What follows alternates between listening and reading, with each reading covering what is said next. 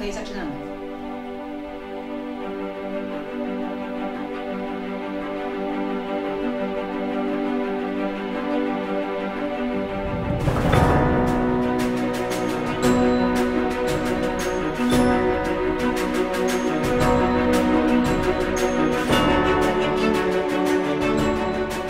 Rozpoczynamy konferencję. E, Witam Państwa serdecznie na naszej konferencji. W dniu dzisiejszym, to jest e, 3 września 2022 roku. Jest to bardzo ważna konferencja, dlatego że od działań, które dzisiaj podejmiemy, będzie zależało to, czy uda nam się uratować nasze państwo polskie przed rozbiorem, przed wprowadzeniem tutaj dwupaństwowości oraz przed zagrożeniem, jakie stanowią przed nami, jakie stanowią dla nas y, sądy. Szanowni Państwo, y, aktualnie sądy w Polsce opanowała grupa osób wrogich narodowi polskiemu i wrogich państwu polskiemu.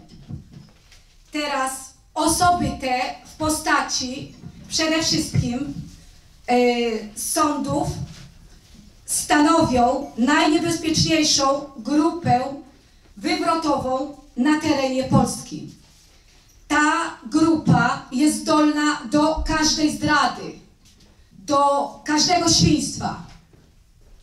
E, Dalsze trwanie tej, e, tej grupy w sądach jest dla państwa polskiego i dla narodu polskiego śmiertelnym niebezpieczeństwem.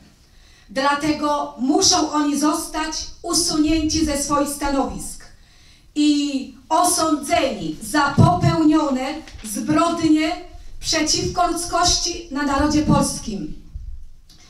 Albo zostanie to zrobione y, podczas, poprzez osądzanie każdego pojedynczego sędziego łamiącego prawa człowieka w Polsce i łamiącego konstytucję, albo czeka nas scenariusz turecki.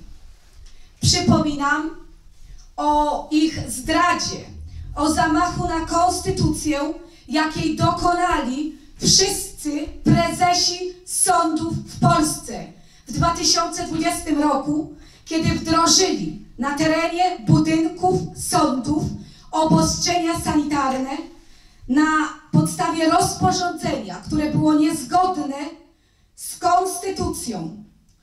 Jednak żaden z tych y, prezesów nie został, y, nie stanął przed sądem i nie został oskarżony za zamach na konstytucję. I to musi być, proszę Państwa, teraz zrobione.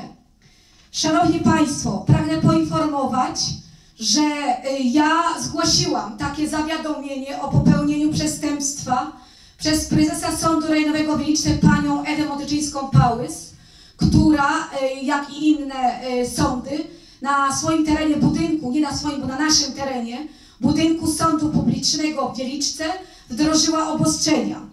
Oczywiście prokuratura odrzuciła e, możliwość śledztwa w tej sprawie.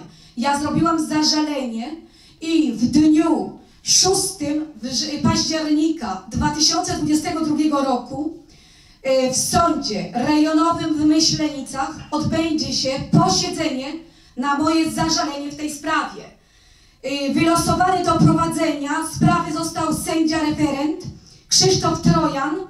Jest to sąd rejonowy w Myślenicach, ulica Piłsudskiego 7, godzina 14.45, sala numer 12. Jest to sygnatura akt 2KP 224 przez 22 w związku z artykułem 128 kodeksu karnego dotyczy zamachu na konstytucję przez prezesa Sądu Rejonowego w panią Ewę Motyczyńską-Pałys w kwestii wprowadzenia w regulaminie sądu obostrzeń sanitarnych, czym spowodowała po pierwsze złamanie podstawowego, naturalnego prawa człowieka, czyli prawa do życia w postaci ograniczenia człowiekowi jego podstawowej fizjologicznej potrzeby do oddychania, do swobodnego oddychania. Po drugie, złamanie głównej zasady cywilizacji łacińskiej, czyli prawdy obiektywnej w postaci nieuwzględnienia swojej decyzji faktycznej prawdy obiektywnej. Oparła ona, oparła ona swoją decyzję o wprowadzeniu obostrzeń sanitarnych na terenie budynku Sądu Rejonowego w Wieliczce na podstawie rozporządzenia ministerialnego niezgodnego z rzeczywistością, czyli z prawdą. Zaakceptowała tym samym kłamstwo uznane prawnie za prawdę. Po trzecie, złamanie konstytucji poprzez zaakceptowanie rozporządzenia nie mającego oparcia w prawie, czyli w ustawie. Rozporządzenia, które na dodatek było niezgodne z konstytucją, co potwierdzały wielokrotnie sądy w swoich orzeczeniach na okoliczność obowiązkowego używania masek. I to jest, proszę Państwa, podstawowa kwestia. Zapraszam osoby zainteresowane, aby udały się w tym dniu do Sądu Rejonowego w Myślenicach, czyli w dniu 6 października, aby dopilnować, że sprawiedliwości stanie się zadość i aby sędzia procedujący sprawę skierował jednak y, tę sprawę do prokuratury w celu przeprowadzenia śledztwa, a następnie w celu osądzenia prezesa Sądu Rejonowego w Wieliczce. Następnie chcę Państwu jeszcze poinformować, Państwa jeszcze poinformować, że będzie również posiedzenie w dniu 6 października, również w sądzie rejon, przepraszam, w dniu 3 października w sądzie rejonowym w Myślenicach sędzia referent Artur Ślusarczyk. Yy, też ulica Piłsudskiego, godzina 13.30, sala 32, sygnatura akt 2KP 225 przez 22 w związku z artykułem 231 kodeksu karnego dotyczy nadużycia sędziów Sądu Rejonowego w Wieliczce, asesora pani Teresy Seleckiej oraz sędzi Sabiny Kostyry-Żółcińskiej w sprawie złamania praw człowieka kwestii przymusowego przyznania adwokata z urzędu oraz wprowadzenia sprawy na niewiadomym prawie, negującym przynależne nam naturalne prawa człowieka, zasady cywilizacji łacińskiej i polską konstytucją. Szanowni Państwo, to by było tytułem wstępu. W tej chwili przedstawię Państwu y, konferen- y, plan konferencji. W pierwszej kolejności będzie moja prelekcja pod tytułem Przedprocesowe zastosowanie prawa naturalnego, zasad cywilizacji łacińskiej i konstytucji w sądach. Y, Następnie będzie krótka dyskusja, jeżeli będą jakieś pytania, jakieś sugestie. I to będzie trwało godzinę. Następnie będzie miał swoją, e, swoją prelekcję pan y, Marek Krasnopolski y, w kwestii kryminalistycznej. Jest to ekspertyza kryminalistyczna z uwzględnieniem patologii proceduralnej i metody rozwiązania. Oraz w punkcie trzecim y, pan Piotr Pawłowski będzie mówił o co i jak można sądzić instytucje publiczne. Rozpoczynam moją prelekcję y, odnośnie przedprocesowego zastosowania prawa naturalnego, zasad cywilizacji łacińskiej i konstytucji w sądach. Tematem zainteresowałam się dlatego, ponieważ zostałam zaatakowana przez system prokuratorsko-sądowniczy bez żadnej przyczyny, nie robiący nic złego i będąc całkowicie niewinną osobą, mając tylko to przewinienie, że ośmielam się mówić prawdę na forum publicznym, albo ośmielam się ostrzegać ludzi o rzeczach, które mogą się zdarzyć, które gdzieś usłyszałam. I o to, proszę Państwa, jestem sądzona tak naprawdę, a sądzi się mnie o mowę nienawiści. I teraz, w związku z powyższym, będąc zaatakowana, zaczęłam y, się interesować, jak to wygląda, y, bo nigdy wcześniej nie miałam po prostu do czynienia z tym. I teraz doszłam do następujących kwestii. Oczywiście ja o prawie naturalnym już wcześniej bardzo się dużo interesowałam też, w związku z tym, że kiedy chciałam założyć y, 10 lat temu działalność gospodarczą w Polsce, okazało się, że nie mogę tego zrobić, ponieważ ZUS wtedy wynosił 1200 zł miesięcznie nie było mnie stać na opłacenie samego ZUS-u. Zaczęłam się zastanawiać, jak to jest możliwe, kiedy w innych krajach tych opłat w ogóle nie ma, są bardzo niziutkie. I wtedy zorientowałam się, że w Polsce łamane są prawa człowieka. Jest łamane podstawowe prawo człowieka do życia. No bo jeżeli człowiekowi zabrania się pracować, stwarza mu się warunki niemożliwe do egzystencji, niemożliwe do zarobienia sobie nawet paru groszy, żeby przeżył, to cóż to jest? Jak nie łamanie podstawowego prawa człowieka do życia. I mówimy tutaj rzekomo o państwie katolickim. Dlatego y, całą y, jakby tą drogę, którą przebyłam, to było y, studiowanie, dociekanie samodzielnie różnych materiałów i źródeł związanych z prawem naturalnym. To w tej chwili, co panu, Państwu przedstawię, to moim zdaniem jest ta dro droga, którą można próbować, jeżeli ktoś czuje się na siłach i ma wiedzę i chce przestudiować pewne tematy i y, po prostu doszkolić się. Można po prostu próbować y, z tymi sędziami y, jakby walczyć, ale nie na zasadzie, żeby, bo nie chodzi o to, żeby ludzi niszczyć, tylko żeby oni zrozumieli, że nadszedł czas, że muszą zmienić swoje podejście w orzekaniu, że muszą zmienić swoje podejście do człowieka i zacząć traktować człowieka jako osobę ludzką, istotę żywą, y, i z, y, żywą z krwi i kości, istotę duchową, materialną, a nie jak produkt czy rzecz, czy też traktować jako po prostu y, ludzi, których należy wykorzystać i zniszczyć. I teraz mamy w Polsce podstawy prawne do zastosowania w Polsce prawa naturalnego i zasad cywilizacji łacińskiej. I co to jest? To jest, proszę Państwa, konstytucja. W artykule 30 daje nam podstawę prawną i tytuł prawny do stosowania w Polsce legalnie i zgodnie z prawem i zgodnie z prawem prawa naturalnego, które i tak ze swej istoty obowiązuje zawsze, wszędzie, każdego. Artykuł 30 Konstytucji mówi o godności osobowej człowieka. Przyrodzona i niezbywalna godność człowieka stanowi źródło wolności i praw człowieka i obywatela. Jest ona nienaruszalna, a jej poszanowanie i ochrona jest obowiązkiem władz publicznych. Jeżeli zakładamy, że człowiek ma godność, to znaczy, że jest osobą, yy, wtedy prawo naturalne człowiekowi się należy. W swoim filmie na YouTube wiceminister sprawiedliwości dr Marcin Romanowski bardzo dobrze to tłumaczy w filmie pod tytułem Prawo natural, Prawa naturalne, od kiedy nam przysługują tylko u nas wiceminister dr Marcin Romanowski. To jest po prostu tytuł tego filmiku na YouTube. Szanowni Państwo, y, drugim, jakby drugą kwestią, którą należy wziąć pod uwagę i bronić się, że przynależą nam się y, prawa y, naszej cywilizacji łacińskiej, to są statystyki Głównego Urzędu Statystycznego, które mówią o tym, że w Polsce mamy około 90% ludności przynależącej do Kościoła rzymskokatolickiego, obrządku łacińskiego, co stanowi demokratyczną większość, czyli zgodnie z konstytucją, która mówi, że Polska jest demokratycznym państwem prawnym, dają nam prawo do żądania w polskim życiu społeczno-polityczno-gospodarczym uznawania i stosowania zasad cywilizacji łacińskiej. Na stronie 30 opracowania do pobrania ze strony GUS-u osoby zainteresowane pobraniem materiałów, w których będzie również ten link, mogą znaleźć wszystkie materiały y, z, naszego, z naszych warsztatów na stronie internetowej www.tymczasowa-rada-stanu.wordpress.com lub na stronie internetowej www.walkaoprawaczłowieka.wordpress.com Następnie mamy tutaj jeszcze, aha, jeszcze przytoczę dane z GUS-u. Więc dane spisowe z Głównego Urzędu Statystycznego potwierdzają statystycznie dominującą pozycję Kościoła rzymskokatolickiego obrządku łacińskiego. Zbiorowość zaliczających się do wiernych Kościoła rzymskokatolickiego liczy 33 miliony 729 tysięcy osób, co stanowi 87,6% ogółu ludności i 96% populacji o rozpoznanym statusie cywilizacyjnym, przepraszam, wyznaniowym.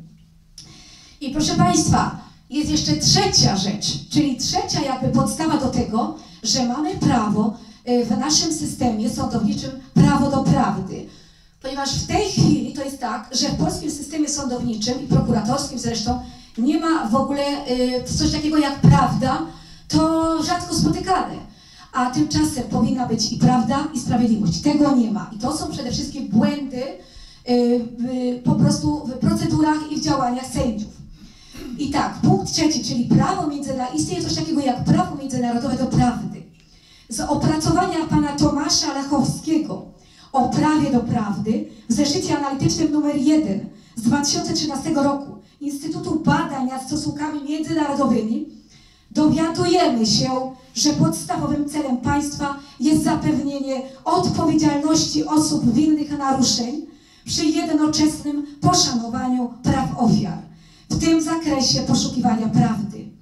E, Istnienie prawa do prawdy potwierdza choćby rezolucja Komisji Praw Człowieka ONZ-u numer 2005 przez 66. Prawo do prawdy przysługuje w szczególnej jednostce ofierze naruszeń, a także w ogóle całemu społeczeństwu w przedmiocie poznania prawdy dotyczącej naruszeń, na przykład poprzez wszczęcie właściwego postępowania, tożsamości sprawców oraz wiedzy na temat przyczyn przebiegu oraz okoliczności ich wystąpienia. Korzenie prawa do prawdy sięgają regulacji międzynarodowego y, prawa humanitarnego, konwencji genewskich, protokołów dodatkowych i innych.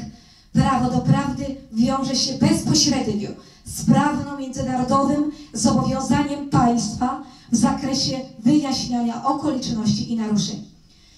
Y, Szanowni Państwo, w związku z powyższymi y, naszymi prawami teraz przedstawię wykaz niejasności związanych właśnie z procedowaniem spraw sądowych w polskich sądach, które należy przed procesem z sędzią wyjaśnić. I tutaj tak, przed procesem możemy pisać pisma do sędziego w celu rozeznania i upewnienia się co do jego możliwości zapewnienia nam respektowania i egzekwowania naszego e, konstytucyjnego, ale i międzynarodowego prawa do rzetelnego, sprawiedliwego, jawnego, bezstronnego i uczciwego osądu przez niezawisły sąd. Ponadto postanowienie sędzi musi być zgodne z prawdą obiektywną.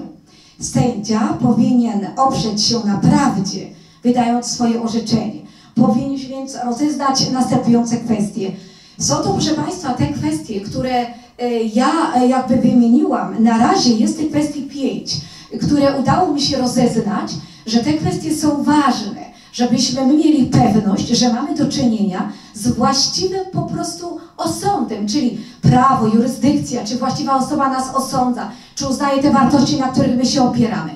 I moje takie pisma, które wysyłałam y, do sądów, do prokuratur, na policję, możecie Państwo znaleźć na stronie www.walkaoprawaczłowieka.wordpress.com i tam y, są te moje pisma, więc jeżeli ktoś jest zainteresowany, może tam doczytać się, w jaki sposób ja to robiła. To były takie moje pionierskie pisma, żeby rozeznać po prostu sytuację i upewnić się, czy jest to możliwość, żeby y, mieć właściwy proces, nawet jeżeli on jest w ogóle, jego w ogóle być nie powinno. I dlatego tak, po pierwsze, to jest proszę Państwa punkt pierwszy umocowanie sędziego, dające sędziemu jako urzędnikowi państwowemu uprawnienia do zajmowania się naszą osobą ludzką w ramach struktur państwowości polskiej, to jest naszego polskiego państwa narodowego, suwerennego, autonomicznego i niezależnego bytu na arenie międzynarodowej, chronionego prawem międzynarodowym do samostanowienia narodów. W przypadku nieokazania przez sędziego legitymacji lub nieposiadania jej, taki sędzia nie ma do nas żadnych praw, nie jest przez nikogo umocowany. Więc, tak, więc pytanie, które tutaj e, ja e, wskazuję, można by ewentualnie zadać, uprzejmie proszę o okazanie mi oryginału lub przesłanie mi ksera pana legitymacji urzędnika państwowego. I to jest podstawowa kwestia, gdyż jak wygląda tutaj z doświadczeń ludzi, którzy już po sądach mieli swoje rozprawy, yy, sędziowie nie mieli takiego dokumentu. Yy, ludzie nie, mie nie mieli e, pewności, czy są osądzani przez sędziów z takiej, yy, jako firmę działającą w ramach jakiegoś, jakiegoś, jakiejś korporacji rothschildowskiej, czy, czy państwa polskiego jakiego, jako korporacji, czy też nie wiadomo y, y, po prostu jakby z czyjej poręki oni w ogóle byli sądzeni. No więc tutaj to była kwestia podstawowa. Z tego co mi wiadomo, to y, widziałam już jakieś rozporządzenie ministra Ziobry, który coś w tej kwestii chyba poczynił. Widziałam nawet wzór takiego, takiego urzędnika y, państwowego i po prostu jakby wzór właśnie tej temacji sędziowskiej Trzeba będzie to rozeznać, y, czy tutaj chodzi o y, y, tą po prostu legitymację jako legitymację urzędnika państwowego, narodowego państwa polskiego chronionego prawem międzynarodowym na arenie międzynarodowej, czy też znowu będzie to pic na wodę i po prostu jakiś dokument korporacyjny. Ale to już, proszę Państwa, osoby naprawdę mające wiedzę, mające dostęp do informacji będą musiały to rozeznać. Następnie Drugą rzeczą, jaką postanowiłam rozeznać, yy, przed procesem oczywiście, to jest właściwe prawo. ponieważ słyszymy o tym, że że osądzają nas na niewłaściwym prawie, e, prawo korporacyjne, prawo morza, prawo prywatne i tym podobne. Zatem chodzi tutaj o to, żeby to prawo, na którym nas chcecie osądzać, by było one zgodne z naszą naturą ludzką. Osoby żywej z krwi i kości, istoty duchowo-materialnej, czyli było zgodne z prawem naturalnym, a nie oparte na przemocowym prawie Kelsena. I to też właśnie e, tutaj jest związane z tym, że e, Kelsen, proszę Państwa, ja później to wytłumaczę e, w takim podręcznym kompendium prawa naturalnego, że y, Kelsen oderwał prawo całkowicie od człowieka. Y, Zrobił z tego procedury mechanistyczne, czyli oderwał od moralności, oderwał od sprawiedliwości, oderwał od prawdy, oderwał od ludzkich stanów emocjonalnych, oderwał od istoty człowieczeństwa, czyli duchowości. Całkowicie Kelsen to wszystko oderwał, ale o tym się nie mówi. Y, I teraz, y, proszę Państwa, to jest właśnie ta kwestia, czyli żebyśmy byli o, po prostu oceniani na prawie, które jest zgodne z naszą istotą ludzką. I teraz tak, pytanie do sędziego y, procedującego sprawę. Czy będę osądzany na właściwym, przynależnym mi prawie, to jest, czy będę osądzany z uwzględnieniem prawa naturalnego, zasad cywilizacji łacińskiej oraz konstytucji, a w szczególności z uwzględnieniem artykułu 30, który mówi, że przyrodzona i niezbywalna godność człowieka stanowi źródło wolności i praw obywatela. Zatem tutaj o to należy zadać pytanie. Jednocześnie ja ze swojego doświadczenia mogę powiedzieć, że y, przygotowałam, ponieważ y, próbowałam, proszę Państwa, wysyłać do sędziów takie oświadczenia, żeby oni mi je wypełnili, że oni, proszę Państwa, osądzają mnie na właściwym moim prawie, że uznają wyższość konstytucji nad polskim prawem, e, przepraszam, nad każdym innym prawem, co mówi nam konstytucja w artykule 8. Próbowałam dociekać, żeby oni po prostu, czy oni na przykład akceptują zasady cywilizacji łacińskiej i, i pod tym względem wysyłałam do nich te pisma. Okazało się jednak, że oni w ogóle tak jakby y, grochem o ścianę do nich, proszę Państwa, cały czas. Oni nadal idą na tym prawie, którym oni chcą. I teraz y, postanowiłam zatem zacząć im wysyłać coś takiego, moje tak jakby, ja im zresztą wcześniej pisałam oświadczenia, że ja jestem człowiekiem żywym, że ja domagam się takiego i takiego prawa i tak dalej. Y, Po prostu to jest długa historia, bym chciała tutaj w cały, y, szczegółowo w cały ten y, mój, w cały ten mój proces z nimi, ale to Państwo znajdziecie na stronie tej walka www.walkaoprawaczłowieka.wordpress.com. Tam są te moje pisma do nich, niektóre, nie wszystkie. Ale co wymyśliłam? Stworzyłam takie coś jak świadectwo lojalności Polaka. I właśnie jak e, osądza się, jak po prostu chce, zadaje mu pytanie o właściwym prawie i o właściwej jurysdykcji, o której zaraz powiem, to po prostu e, ja to świadectwo lojalności Polaka, które Państwo macie w swoich materiałach, one będą dostępne również, e, one będą również, to świadectwo lojalności Polaka będzie dostępne na stronie internetowej. E, Ja im oświadczam e, właśnie, że jestem świadoma przynależnych mi praw i nie będę czytała całego tego oświadczenia, bo tutaj dużo czasu by mi to zajęło, ale to jest dosyć, to jest na jedną stronę. Ja to podpisuję, wysyłam im to i oni mają, i to jest dowód mój na to, że oni otrzymali i jeżeli oni zaczną mnie sądzić w jakim innym prawie, na innej jurysdykcji, e, to ja zawsze ich mogę osądzić o złamanie moich praw człowieka. I to robię. I teraz kolejnym punktem przechodzimy do punktu numer 3. To jest, proszę Państwa, właściwa jurysdykcja. I tu właśnie chodzi o to, żebyśmy my byli osądzani jako suwereni państwa polskiego, czyli, czyli na tym prawie i na naszych prawach, które są z racji tego, że my jesteśmy Polakami, mamy nasze państwo polskie, mamy naszą jurysdykcję państwową, prawną, i, a nie, że będziemy osądzani na jakiś tutaj po prostu prawa, które nam przychodzą od globalistów, typu tego, no to na przykład rozporządzenie, proszę Państwa, które było, które weszło y, tak jakby bokiem w nasz system prawny o tym obowiązku obostrzeniach sanitarnych, które było całkowicie niezgodne y, z naszym prawem, z naszą konstytucją, ono weszło od boku, tak jakby wcięło się, zostało zaakceptowane przez prezesów sądów w całej Polsce, a to oni pierwsi powinni zawalczyć i powiedzieć hola hola. To prawo jest, y, jest zgodne z konstytucją. My nie możemy tego wprowadzić. Więc zamiast, proszę Państwa, sędziowie i, i po prostu zamiast y, sędziowie i, i prezesi walczyć o nasze prawa, bo tak powinno być, to oni, proszę Państwa, je łamali. Zatem nie ma takiej opcji, żeby tak trwało dalej. Ale to znaczy, że oni wprowadzili w ten sposób system już tutaj globalistyczny właśnie poprzez sądy. Zrobili to za pomocą sądów.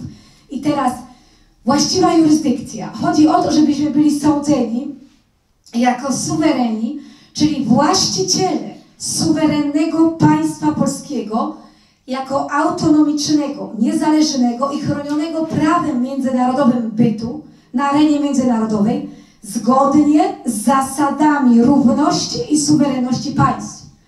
I a nie żebyśmy byli sądzeni, osądzani na wewnętrznych prawach i procedurach państwa korporacji. Czyli chodzi o to, by nie być właśnie sądzony na tym prawie morza korporacyjnym, prywatnym, jak to inaczej też różnie nazywają.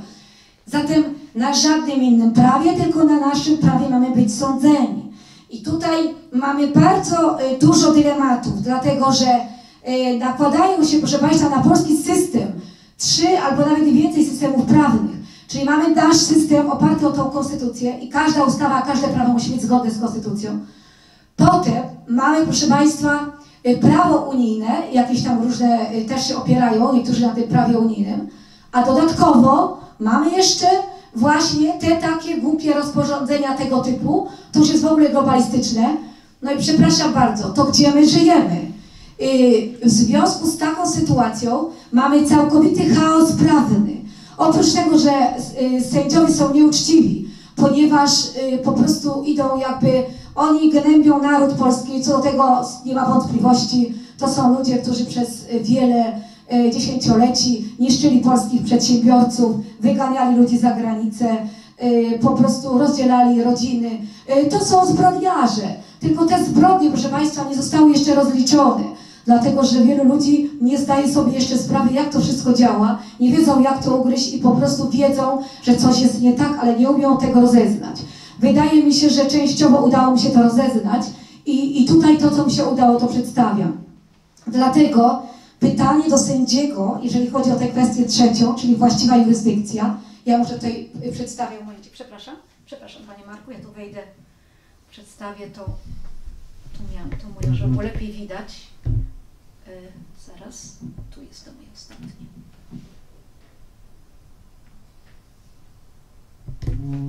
to było. Teraz. Czemu to nie chce iść?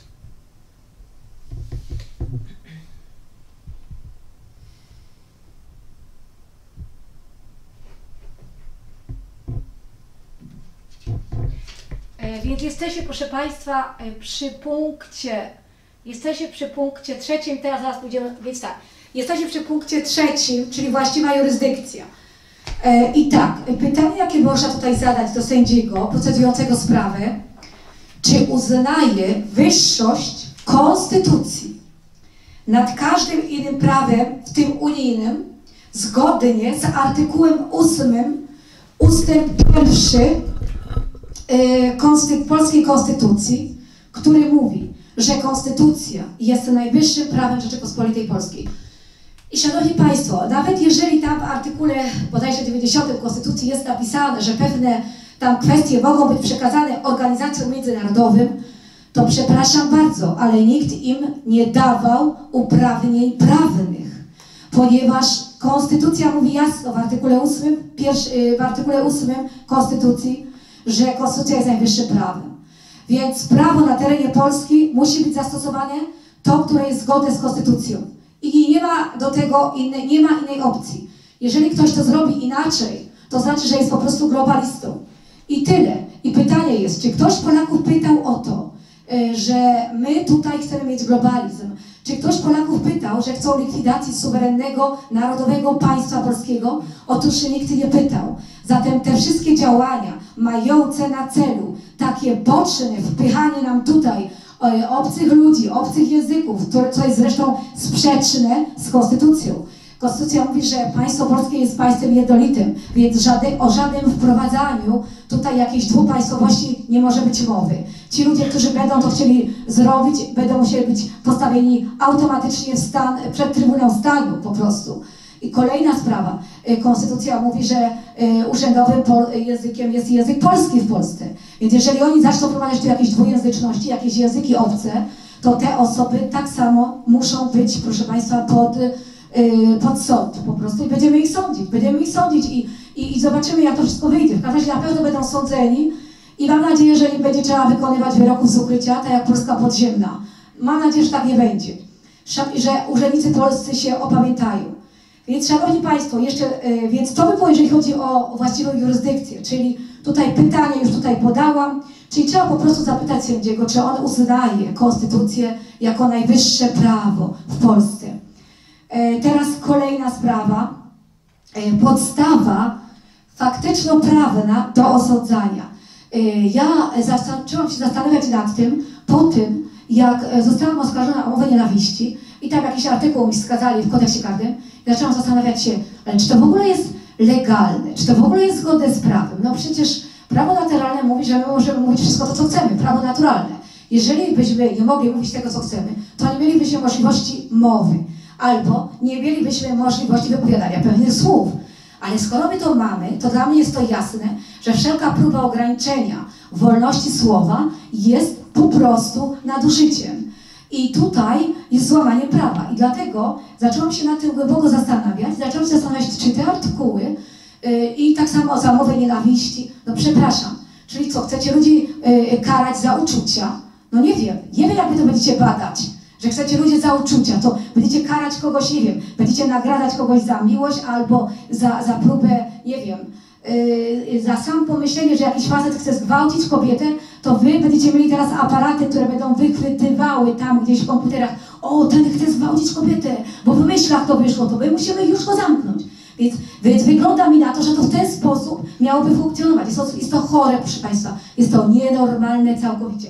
I dlatego uważam, że trzeba rozeznać podstawę prawną, y, faktyczną do osądzania. Czyli, czyli czy ten artykuł kodeksu karnego, na którym oni chcą nas osądzać, czy po prostu on w ogóle jest zgodny z prawem naturalnym, z zasadami cywilizacji łacińskiej, z konstytucją, y, czy, y, czy po prostu to jest, czy oni w ogóle to mogą zrobić, czy on jest w ogóle ważny. I teraz pytanie do sędziego procedującego sprawę. Proszę o potwierdzenie mi zgodności tego artykułu z, z kodeksu karnego z prawem naturalnym, z zasadami cywilizacji łacińskiej oraz z konstytucją. Proszę o przedstawienie mi podstawy prawnej, uzasadnienia oraz celowości tego artykułu kodeksu karnego. I to, proszę Państwa, każdy artykuł w kodeksie kar- karnym powinien mieć. Ja nigdy się, znaczy ja nie mam doświadczenia, ale nie spotkałam się z czymś takim, żeby wszystko musi być uzasadnione. Dlaczego jest dany artykuł? E, Co on ma spowodować? E, Na jakiej podstawie on został wydany?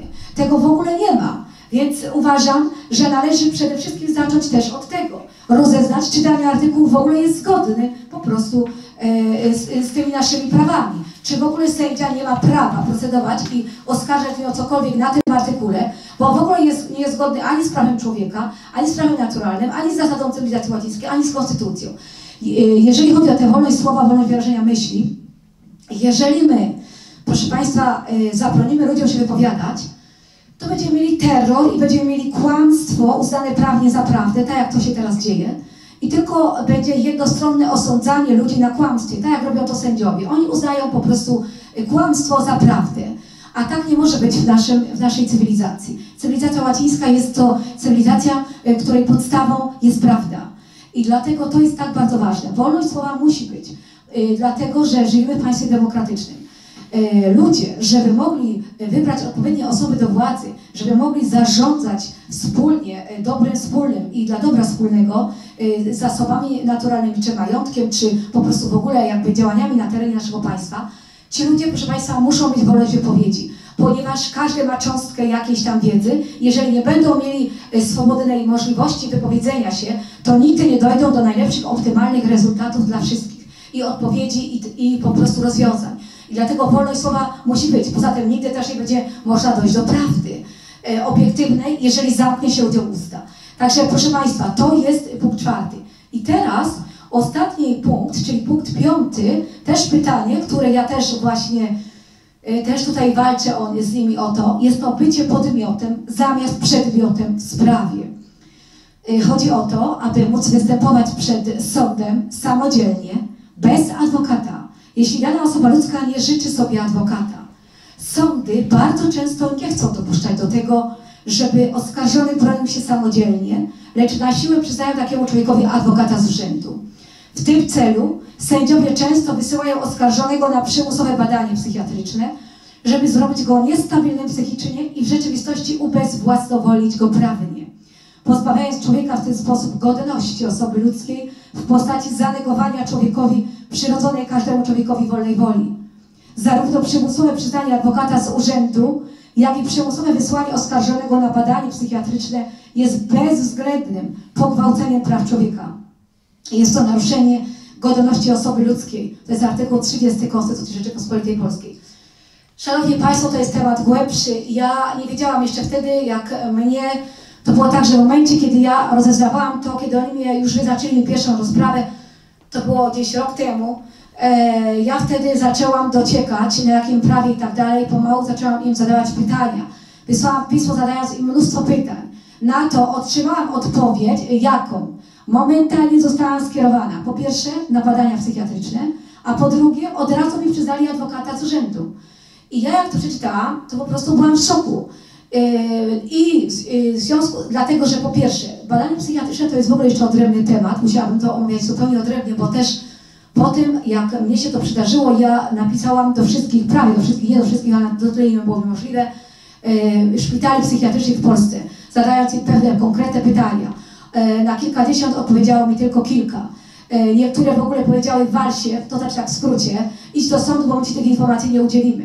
Ja tam zapytywałam między innymi, ilu e, prokuratorów, ilu sędziów e, wysyłało po prostu do nich e, tam tych ludzi. I to na przełomie tych lat, te, które mi, też te, które mi udostępniły, było naprawdę dużo tych ludzi. Ale to jest jakby temat odrębny, nie na dzisiejszy temat. Ale jeżeli chodzi o moją osobę, ta kobieta, tam nie było żadnego uzasadnienia, na podstawie czego ona mnie wysyłała na te badania psychiatryczne. A ona mi napisała, ja dopytywałam i tak dalej, że tam wynikało z tego pisma, że na podstawie moich pism do sądu. Czyli tak, jak się człowiek pyta, docieka, zadaje pytania, to jest nienormalne i trzeba go do psychiatryka wsadzić. Więc tak to, proszę Państwa, się odbywa. I jak ja to zaczęłam rozeznawać, więc sobie dobra, ale zaczęłam się zastanawiać, dlaczego ona mi to zrobiła? Dlaczego ona mi tego psychiatryka? Przecież nie było podstaw. Ja naprawdę, ja nigdy nie zażywałam żadnych e, e, psychotropów, ani niczego. E, w ogóle się nie leczyłam, ani psychicznie, ani psychologicznie, ani psychiatrycznie. Nigdy nikomu nic złego nie zrobiłem. Po prostu, no, to był dla mnie szok i byłam zawsze spokojną osobą, więc nie było żadnej podstawy. I teraz pytam, y, dlaczego to tak, y, i zaczęłam się zastanawiać. Co się okazało? Y, według tego, jak potem przestudiowałam to wszystko, to się okazało, że prawdopodobnie, i myślę, że tak było, one chciały mnie do psychiatryka wysłać na siłę, na chama, żeby ona tam byle co wymyśliła, jakąś tam chorobę, byle co, żeby mi przyznać adwokata, bo właśnie chodziło o to, żeby mnie pozbawić możliwości samodzielnej obrony przeze mnie w sądzie. I dlatego ja je oskarżyłam y, po prostu o złamanie moich praw człowieka. W ogóle ja poprosiłam o wyłączenie tej sędzi, to była, y, to była nawet nie sędzia, to była asesor Selecka. Ja ich tam w ogóle chciałam, żeby ona się w ogóle wyłączyła, bo ona nie odpowiedziała na pytania y, i, wyłączy, i to, także oni o nie, ona jakby nie została wyłączona, osądzała ją tam druga koleżanka ze sądu, że ona nie złamała moich praw człowieka i tak dalej. No więc po prostu yy, to w ogóle był cyrk, kabaret. No więc yy, ja oskarżyłam obydwie. No w takim razie obydwie złamają moje prawa człowieka i dlatego jest ta sprawa, która będzie teraz 6 y, października. I teraz, yy, proszę Państwa, Y, do czego zmierzam? Chodzi właśnie o to, że jak rozeznawałam tę sprawę, to się dowiedziałam, że wiele osób w Polsce, które są dość świadome i tak już trochę tego prawa opanowały, po prostu mają ten sam problem. Po prostu nie pozwala się ludziom bronić w sądach samodzielnie. Tymczasem w Ameryce mogą się takie osoby bronić samodzielnie. Nie ma tutaj Teresy, która by to potwierdziła, bo ona mi to powiedziała. W Stanach Zjednoczonych, nie wiem jak to się nazywa po angielsku ta formuła, ale, są, e, ale jest to możliwość, że osoba broni się samodzielnie w sądzie. U nas, jak widzicie Państwo, nie pozwalają i to jest definitywnie, to jest w ogóle deptanie godności osoby ludzkiej, która ma e, prawo e, z racji w ogóle tego, że jest człowiekiem, podejmować własne decyzje, jest osobą autonomiczną, wolną, posiadającą wolną wolę, zdolność do rozumowania. Dlatego to, co oni robią, to jest takie bestialstwo, że to się w ogóle w głowie nie myśli. I teraz ten problem właśnie ma dużo ludzi. E, I zaczęłam się też zastanawiać, e, dlaczego tak jest. Dlaczego tak jest, że oni po prostu nie pozwalają, żeby ludzie się bronili samodzielnie? No ja myślę, to jest takie moje zdanie, że dlatego, że z kolei ci, y, ci prawnicy, oni są zrzeszeni w jakimś tam stowarzyszeniu i w momencie, jeżeli on by zaczął, taki prawnik, bronić ludzi na prawie naturalnym, na zasadach cywilizacji łacińskiej i opominać się o tym, czy należy nam prawa, to oni go, proszę Państwa, momentalnie mogą wywalić z tego po prostu, z tego stowarzyszenia i on nie będzie mógł w ogóle osądzać, ludzie nie będzie miał z czego żyć. Więc to są, proszę Państwa, takie podstawowe problemy, które wydaje mi się, że leżą właśnie u podstaw tego, że one tutaj nam nie pozwalają się bronić samodzielnie. I teraz, proszę Państwa, już dochodzę jakby do podsumowania. Yy, więc tak, yy, w przypadku, gdy na nasze pisma do sądu yy, sędzia odpowie nam, że nie uznaje naszych wyżej wymienionych praw, czyli to, to raczej mało prawdopodobne, czyli prawa naturalnego, zasad cywilizacji łacińskiej oraz nie uznaje konstytucji z wyższą nad prawem Unii, za wyższą nad prawem unijnym, czy też przymusowo sędzia przyznał nam adwokata z urzędu, albo w przypadku, gdy nie otrzymamy żadnej odpowiedzi na zadane pytania w krótkim czasie, to jest przed rozprawą, to można moim zdaniem już wtedy złożyć zawiadomienie o możliwości popełnienia przestępstwa przez sędziego na podstawie nawet następujących artykułów. W związku z artykułem 128, to jest kodeksu karnego, zamach na organ konstytucyjny, chodzi o procedowanie sprawy na niewiadomym prawie, a w przypadku przymusowego przyznania adwokata jest to również naruszenie godności osoby ludzkiej, artykuł 30 Konstytucji. Potem e, jeszcze w związku, e, i jakby też e, druga opcja, w związku z artykułem 231, czyli niedopełnienie obowiązków w kwestii zapewnienia rzetelnego, sprawiedliwego, uczciwego procesu sądowego. I teraz, bo chodzi o to, że jeżeli oni nie odpowiedzą na pytania i nam nie potwierdzą, że my będziemy osądzani na właściwym prawie, we właściwej jurysdykcji, przez właściwego sędziego, no to jasne jest, że oni nie dopełnili obowiązków w stosunku do nas, jako suwerena państwa polskiego. I teraz w zawiadomieniu do prokuratora można zasugerować, ja tam tak piszę, właśnie ja sugeruję wszystkim, e, można skierować mu skierowanie e, przez niego i tutaj poniższe kilka pytań prejudycjalnych do Sądu Najwyższego w celu rozwiązania spornych kwestii. I to są te pytania, które mi się nasunęły, bo, pomyślałam sobie, co bym ja zrobiła, jeżeli ja bym była w roli prokuratora czy sędziego. Jaki ja miałabym problem, jeżeli taka osoba jak ja by jemu z kolei zadała to pytanie. I tak, pierwsze pytanie, co jest celem prawa w Polsce? Nikt nie umie odpowiedzieć na to pytanie. Otóż e, ja Wam powiem, że celem prawa, proszę Państwa, w Polsce jest dobro. Dobro człowieka z uwzględnieniem dobra wspólnoty. Ale jeżeli Państwo e, e, zadacie pytanie prawnikowi, sędziemu, oni Wam nie odpowiedzą na to pytanie, bo oni tego nie wiedzą. Oni tego nie wiedzą. Ja byłam kiedyś wśród, tam było chyba z 15 prawników przy takim, na takiej jednej imprezie. Zapytałam się, kto mi powie, co jest celem prawa w Polsce? Żaden nie wiedział. Więc proszę Państwa, tak to wygląda. E, zatem, e, co jest celem prawa w Polsce? I to powinno być ustalone. Następnie, czy procedury są ważniejsze od prawa? I teraz, e, jeżeli podchodzimy do, proszę Państwa, do prawa i do osądu z punktu widzenia mechanistycznego, czyli tego prawa Kelsena, gdzie wszystko jest zmechanizowane, to proszę Państwa, e, mamy coś takiego, że jakby oni traktują nas, jakbyśmy byli kolejną rzeczą na taśmie e, po prostu produkcyjnej i idą sobie mechanicznie. Nie, nie zrobiłeś takiej procedury, to odrzucamy ci to. A przekroczyłaś jeden dzień, odrzucamy ci to. A nie doszło na czas, odrzucamy ci to. I to są jakieś po prostu chore po prostu rzeczy. Więc tu trzeba zadać pytanie, co jest ważniejsze? E, czy procedury są ważniejsze od prawa?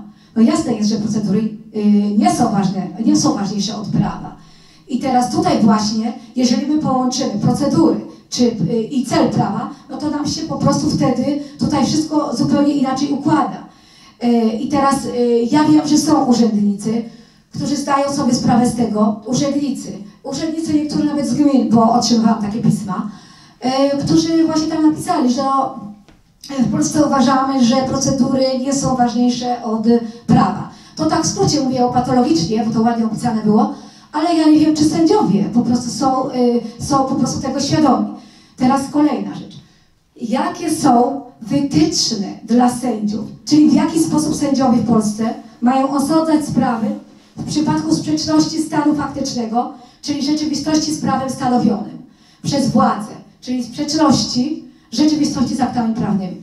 I tutaj właśnie to pytanie e, nasunęło mi się, proszę Państwa, e, pod, e, w związku z tą całą pandemią, bo wtedy były te prawa obostrzeniowne oparte były na fałszu. Tam nie było w ogóle dowiedzione, że po prostu, że te maski chronią, że one są konieczne, że to, że tam, że po prostu mnóstwo rzeczy, które w ogóle nie były udowodnione.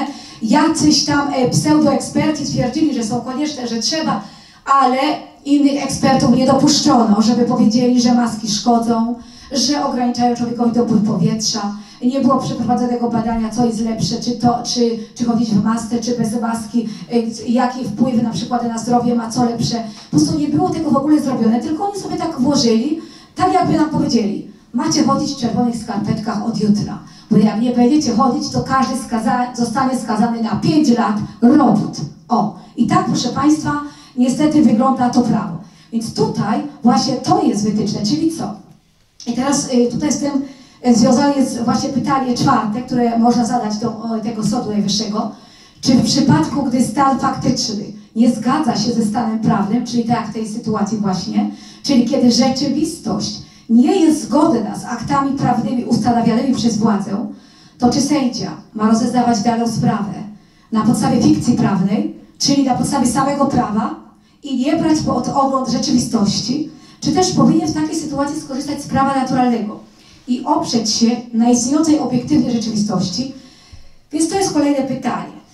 I teraz ostatnie pytanie, y, które ja też kazuję wysyłać do Sądu Najwyższego. Czy prokurator sędzia w Polsce w swoim orzekaniu jest zwolniony ze stosowania zawsze obowiązującego prawa naturalnego przynależnych narodowi polskiemu zasad cywilizacji łacińskiej oraz polskiej konstytucji?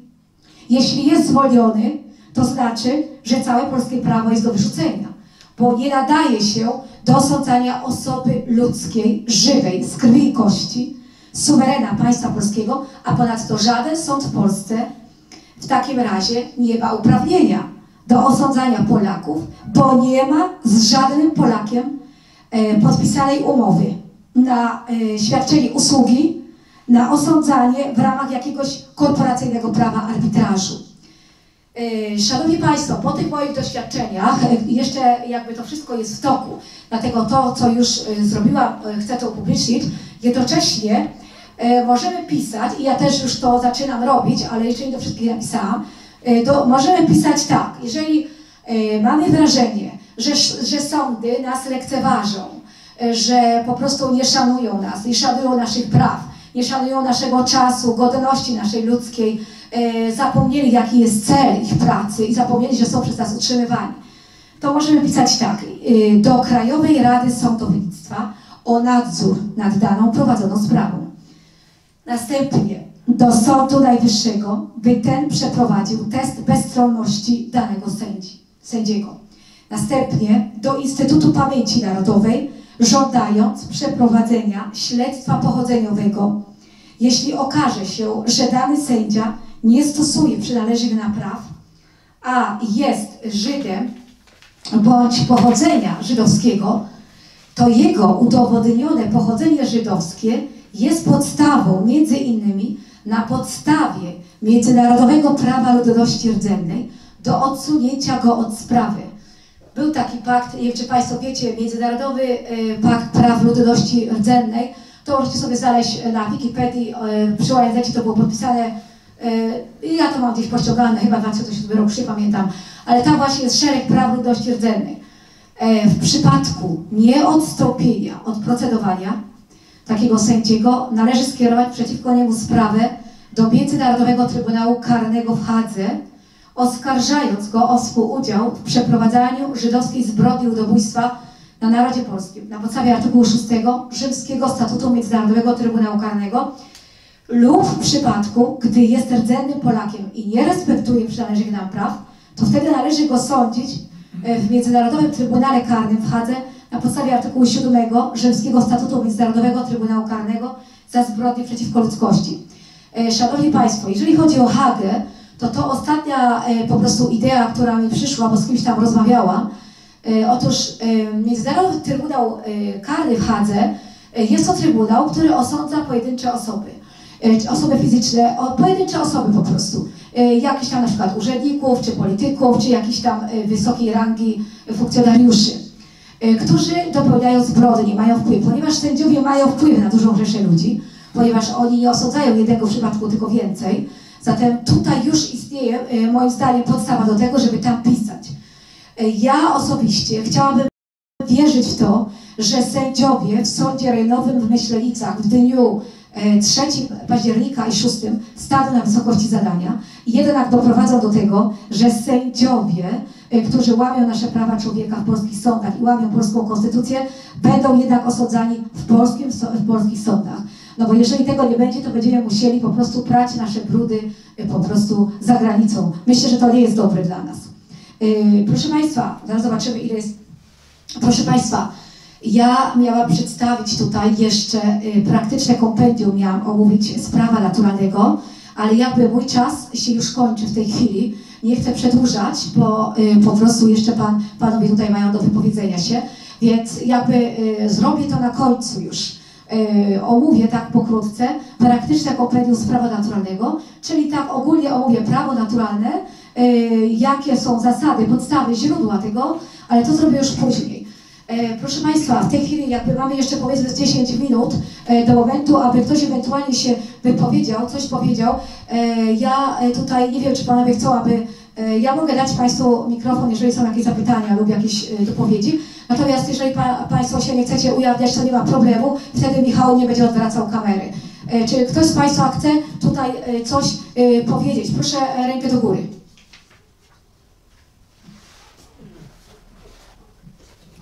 Marysia? Tak. To chodź Marysia. Nazywam się Maria Leśniak-Wojciechowska. Proszę Państwa, dlaczego prawo naturalne jest tak ważne? Ja chciałabym tutaj przedstawić taką książkę, którą każdy w Polsce i może na świecie też powinien y, po prostu mieć i przestudiować. To jest Haver Herwada, Prawo naturalne. Świat jest y, w tej chwili w ogniu i zawsze był. Były mniejsze czy większe okresy, kiedy był spokój, ale zawsze były wojny. Wydaje mi się, że dlatego, że ludzie zatracili tą naturalną możliwość y, współdziałania w oparciu o prawo naturalne. I tutaj przeczytam y, od autora takie y, krótkie mm, opracowanie, to znaczy parę sentencji, czym jest prawo naturalne i dlaczego ja uważam, że jest to rozwiązanie dla nas jako przyszłość. Prawo naturalne jest tym, co sprawiedliwe z natury, czymś należnym osobie ludzkiej ze względu na jej auto, ontologiczną godność. Zatem prawo naturalne i godność człowieka od poczęcia aż do śmierci to uzupełniające się terminy.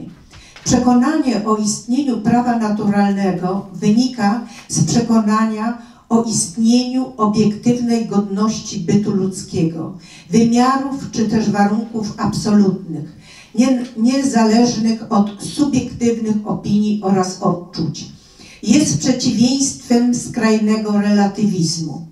W pewnym sensie jest to książka napisana pod prąd, a nawet dokonująca przewrotu, jednak w sposób pokojowy, dość pozytywizmu, który jest tak jak rak trawiący naukę prawa, dość relatywizmu, który prowadzi do zubożenia cywilizacji europejskiej.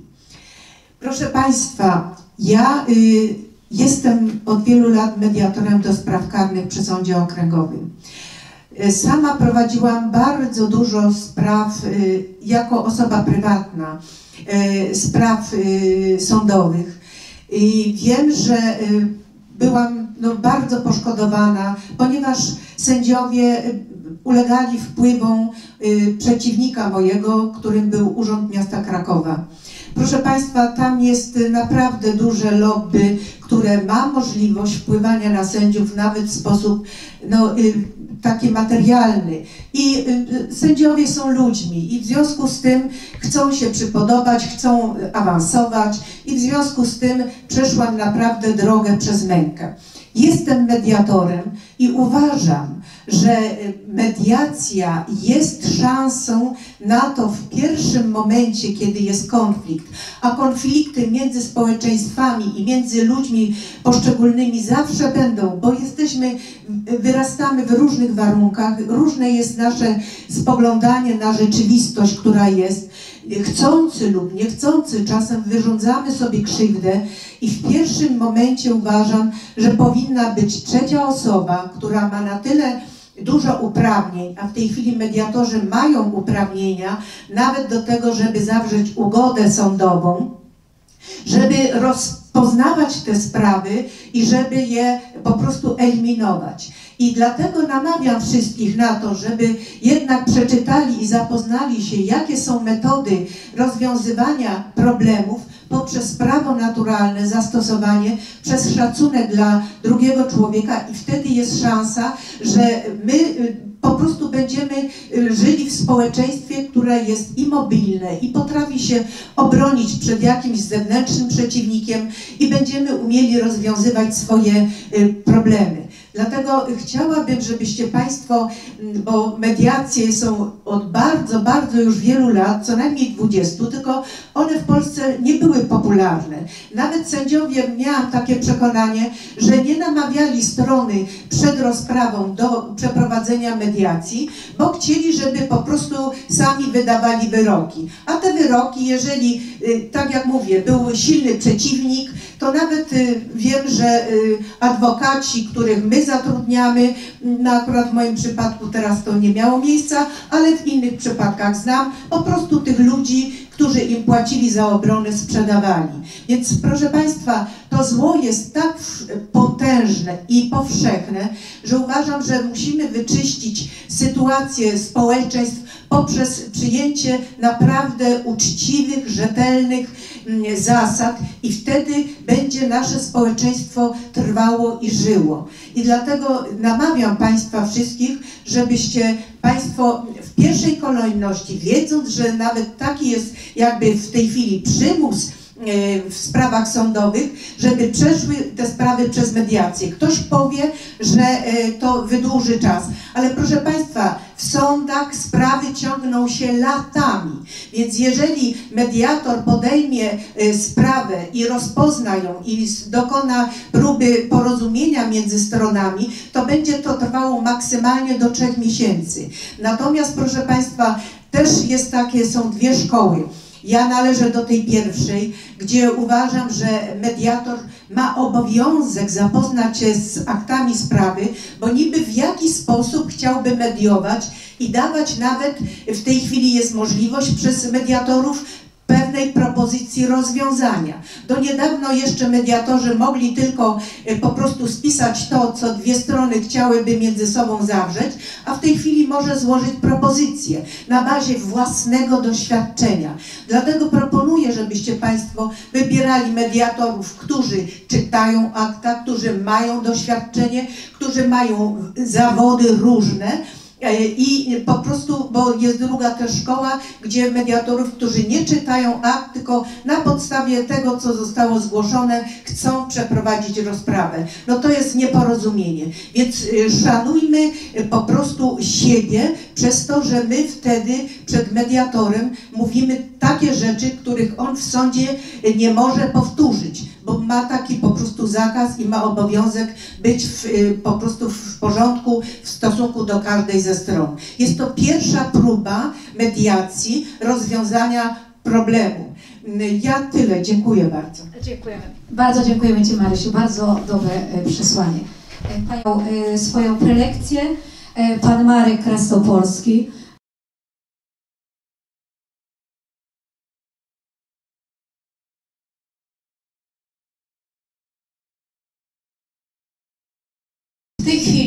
Przedstawię praktyczne kompendium prawa naturalnego. Jest to wersja pierwsza z dnia 29 marca 2022 roku.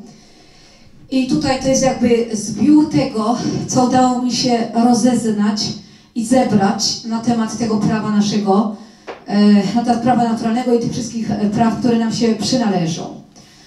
E, Więc tak, po pierwsze, tak jak już przedstawiałam wcześniej, na samym początku, mamy tutaj podstawy prawne do zastosowania w Polsce prawa naturalnego i zasad cywilizacji łacińskiej, czyli mamy przede wszystkim konstytucję i mamy statystyki GUS-u. To jeżeli chodzi o, y, o nasze zasady cywilizacji łacińskiej, no to jest GUS tutaj, y, który y, po prostu mówi, że w Polsce mamy około 90% ludności przynależącej do Kościoła rzymskokatolickiego wrzątku łacińskiego, co stanowi demokratyczną większość i to daje nam, proszę Państwa, prawo do żądania w polskim życiu społeczno-polityczno-gospodarczym uznawania i stosowania zasad cywilizacji łacińskiej. Teraz, y, a dlatego, dlaczego? Dlatego, że my po prostu wierzymy. Skoro my wierzymy w te zasady, które wyznajemy y, y, względem naszej wiary, czyli to, co my wierzymy, i to mamy prawo i obowiązek to stosować i używać to, w co wierzymy. I tak samo Konstytucja nam to gwarantuje. Konstytucja nam to gwarantuje również jako prawo do wolności wyznania i manifestowania y, swojego y, po prostu światopoglądu. Teraz tak, e, Szanowni Państwo, obecnie panujący nam rządy globalistów nie zapewniają i nie zamierzają zapewniać człowiekowi jego naturalnych praw człowieka. To trzeba wiedzieć. Polska jest przykładem kraju, gdzie, w którym prawo zostało, stało się bezprawiem i gdzie ustawy tworzone są dla zysku, garstki klik, a nie, dla, a nie tak jak być powinno, dla dobra powszechnego, e, wspólnego obywateli, e, wspólnego obywatelom. Y, obecnie zarządzającym elitą nie zależy na dobru człowieka ani na realizacji jego życiowych celów. Rządy te powinny, nie powinny być zatem u władzy. Dlaczego są? Dlatego, że ludzie, proszę Państwa, nie mają wiedzy i nie walczą o swoje prawa. I teraz trzeba wiedzieć, że system globalistyczny nie gwarantuje i nigdy, nigdy nie zagwarantuje człowiekowi tego, co powinien. E, to, e, to może zagwarantować tylko narodowe państwo suwerenne. E, I to jest taka podstawa, ponieważ w globalizmie de facto nie ma państw. Czyli każdy sobie rzepkę skrobie i jest tutaj po prostu chaos, nie dość, że prawny, anarchia, to jeszcze na dodatek sprzeczność interesów różnych grup. I, te, I nie ma kto tego pogodzić. Po prostu y, ludzie walczą różnymi sposobami pomiędzy sobą. Czyli jest to taka, takie ujęcie, że że y, ujęcie po prostu takiej mm, walki pomiędzy ludźmi. Tymczasem tak nie powinno być, powinna być ujęta zasada współdziałania, bo y, ludzie de facto y, są dobrze nastawieni jedni do drugich, chyba że są zmanipulowani ideologicznie albo po prostu jedni, jedni nastawiają drugich. Teraz tak, aby człowiek mógł się rozwijać, żyć sprawiedliwie, uczciwie, czynić dobro i aby mógł żyć zgodnie z własnym sumieniem, osiągając stan szczęścia, wypełniając jednocześnie swój ziemski cel, potrzebuje właściwego, opartego na prawie naturalnym otoczenia prawno-instytucjonalnego, które umożliwi mu swoją ziemską misję wypełnić. Do tego właśnie przede wszystkim ma służyć prawo. Na przykład taki przypadek, jeżeli na przykład pani, która pracuje w banku, yy, zagorzała katoliczka, ale ona w banku udziela kredytów frankowych i ona dokładnie wie, że za chwilę ci ludzie pójdą na bruk że oni po prostu zostaną zniszczeni, nie dadzą rady tego spłacić. I ona im to, te kredyty udziela, czyli ona robi zło. I teraz, a jednocześnie idzie do kościoła na drugi dzień i ona bierze komunię świętą, bo ona jest bez grzechu. No więc jak to wygląda? Czyli tutaj, proszę Państwa, mamy całkowitą sprzeczność z tym, co dzieje się w życiu społeczno-polityczno-gospodarczym, z tym, w co my wierzymy. I tutaj, e, jeżeli nie będzie tej spójności, to po prostu e, my e, zginiemy. Będzie, jedni ludzie będą niszczyć drugich za pomocą tak zwanego prawa i po prostu za pomocą chęci zysku. I to jest, e, to jest po prostu przerażające. Teraz co to jest prawo? Prawo jest zbiorem norm i zasad regulujących stosunki i relacje pomiędzy ludźmi oraz pomiędzy organizacjami czy instytucjami przez tych ludzi tworzonymi. Prawo stanowione powinno być oparte na prawie naturalnym, bo tylko takie prawo zabezpieczy mienie i rozwój człowieka oraz ochroni go przed zapędami totalitarnymi państwa.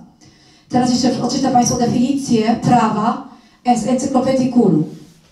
Prawo jest to zbiór, zbiór norm postępowania ustanowionych lub uznanych przez uprawniony do tego kompetentny organ państwa, regulujących zachowania doniosłe z punktu widzenia ustawodawcy, których przestrzeganie jest gwarantowane i sankcjonowanie przez te, sankcjonowane przez te organy normy, normy, y, przez te organy. Normy te składają się na system prawny obowiązujący w danym państwie. Jakie mamy teraz obecnie system prawny w Polsce?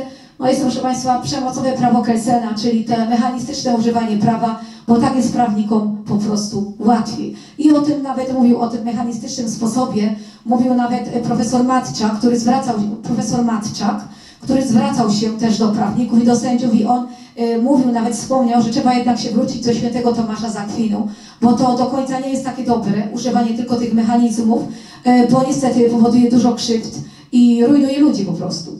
Znaczy on, on nie powiedział to precyzyjnie, ale mniej więcej sens tego, co mówił, to był taki. Dlatego też y, można sobie tam też od, na pewno odznaleźć. Ja miałem taki artykuł, chyba to było y, na YouTubie y, z 2020 roku, z grudnia, to był chyba jeden z tych jego wykładów. Y, teraz, co to jest y, przemocowe prawo Kelsena? Przemocowe prawo Kelsena jest zbiorem mechanicznych instrukcji zawierających paragrafy i procedury prawne oderwane od prawdy, od cnot, od dobra, od sprawiedliwości, od słuszności, od moralności, od prawdy, od psychologii, od etyki, od akcentów socjalnych. Czyli jest to normalnie antyprawo, Szanowni Państwo. Cytaty teraz przytoczę. Y, Odnośnie kultury laickiego prawa opartego na założeniach pozytywizmu prawnego, zbudowanego na założeniach Hansa Kelsena z książki pod tytułem Osoba ludzka y, w realnym świecie. Y, Mariusz Barandowski, cytuję. Ideą nowożytnego prawa jest dążenie prawodawcy do wymuszenia na literalnie zniewolonym człowieku obowiązków prawnych w przypadku zaniechania wypełnienia tego obowiązku ustawodawca wszczyna procedurę egzekucyjnego przymusu państwowego. W porównaniu kultura chrześcijańska prawa już w średniowieczu ukształtowała odrębny paradygmat prawa. Mieczysław Krąpiec uważa, iż w średniowieczu na tle różnych systemów społecznych, czy to feudalnych, czy później absolu- absolutystycznych, powstał problem. Czy można nie słuchać władzy? Czy można nie słuchać prawa? Wówczas zwrócono uwagę, że prawa można i należy nie słuchać, nawet pod groźbą kary, wówczas, gdy jego celem jest zło. Jeśli ustawodawca nie jest sprawiedliwy, przekracza swoje kompetencje. Trzeba pamiętać, że rozwój pozytywizmu prawnego w XIX wieku zerwał z chrześcijańskim modelem kultury prawnej. Co więcej, kultura prawna ukształtowana za sprawą normatywizmu prawnego Kelsena postawiła osobę ludzką w sytuacji podmiotu silnie podporządkowanego reżimowi normy prawnej. E, Tu jest kolej cytatu. E, Teraz e, stosowanie tak zwanego prawa przemocowego wynika z teorii Hansa Kelsena, w której prawo nie jest, dobra, nie jest związane z dobrem wspólnym, nie jest związane z dobrem człowieka jako istoty duchowo-materialnej. Nie opiera się na prawdziwym poznaniu bytu osobowego, jakim jest człowiek, nie opiera się na prawdzie o człowieku, lecz jest opartym na światopoglądzie, na ideologiach, na kaprysach i woli władzy by realizować za pomocą prawa interesy utylitarystyczne, szczególnie wąskich klik.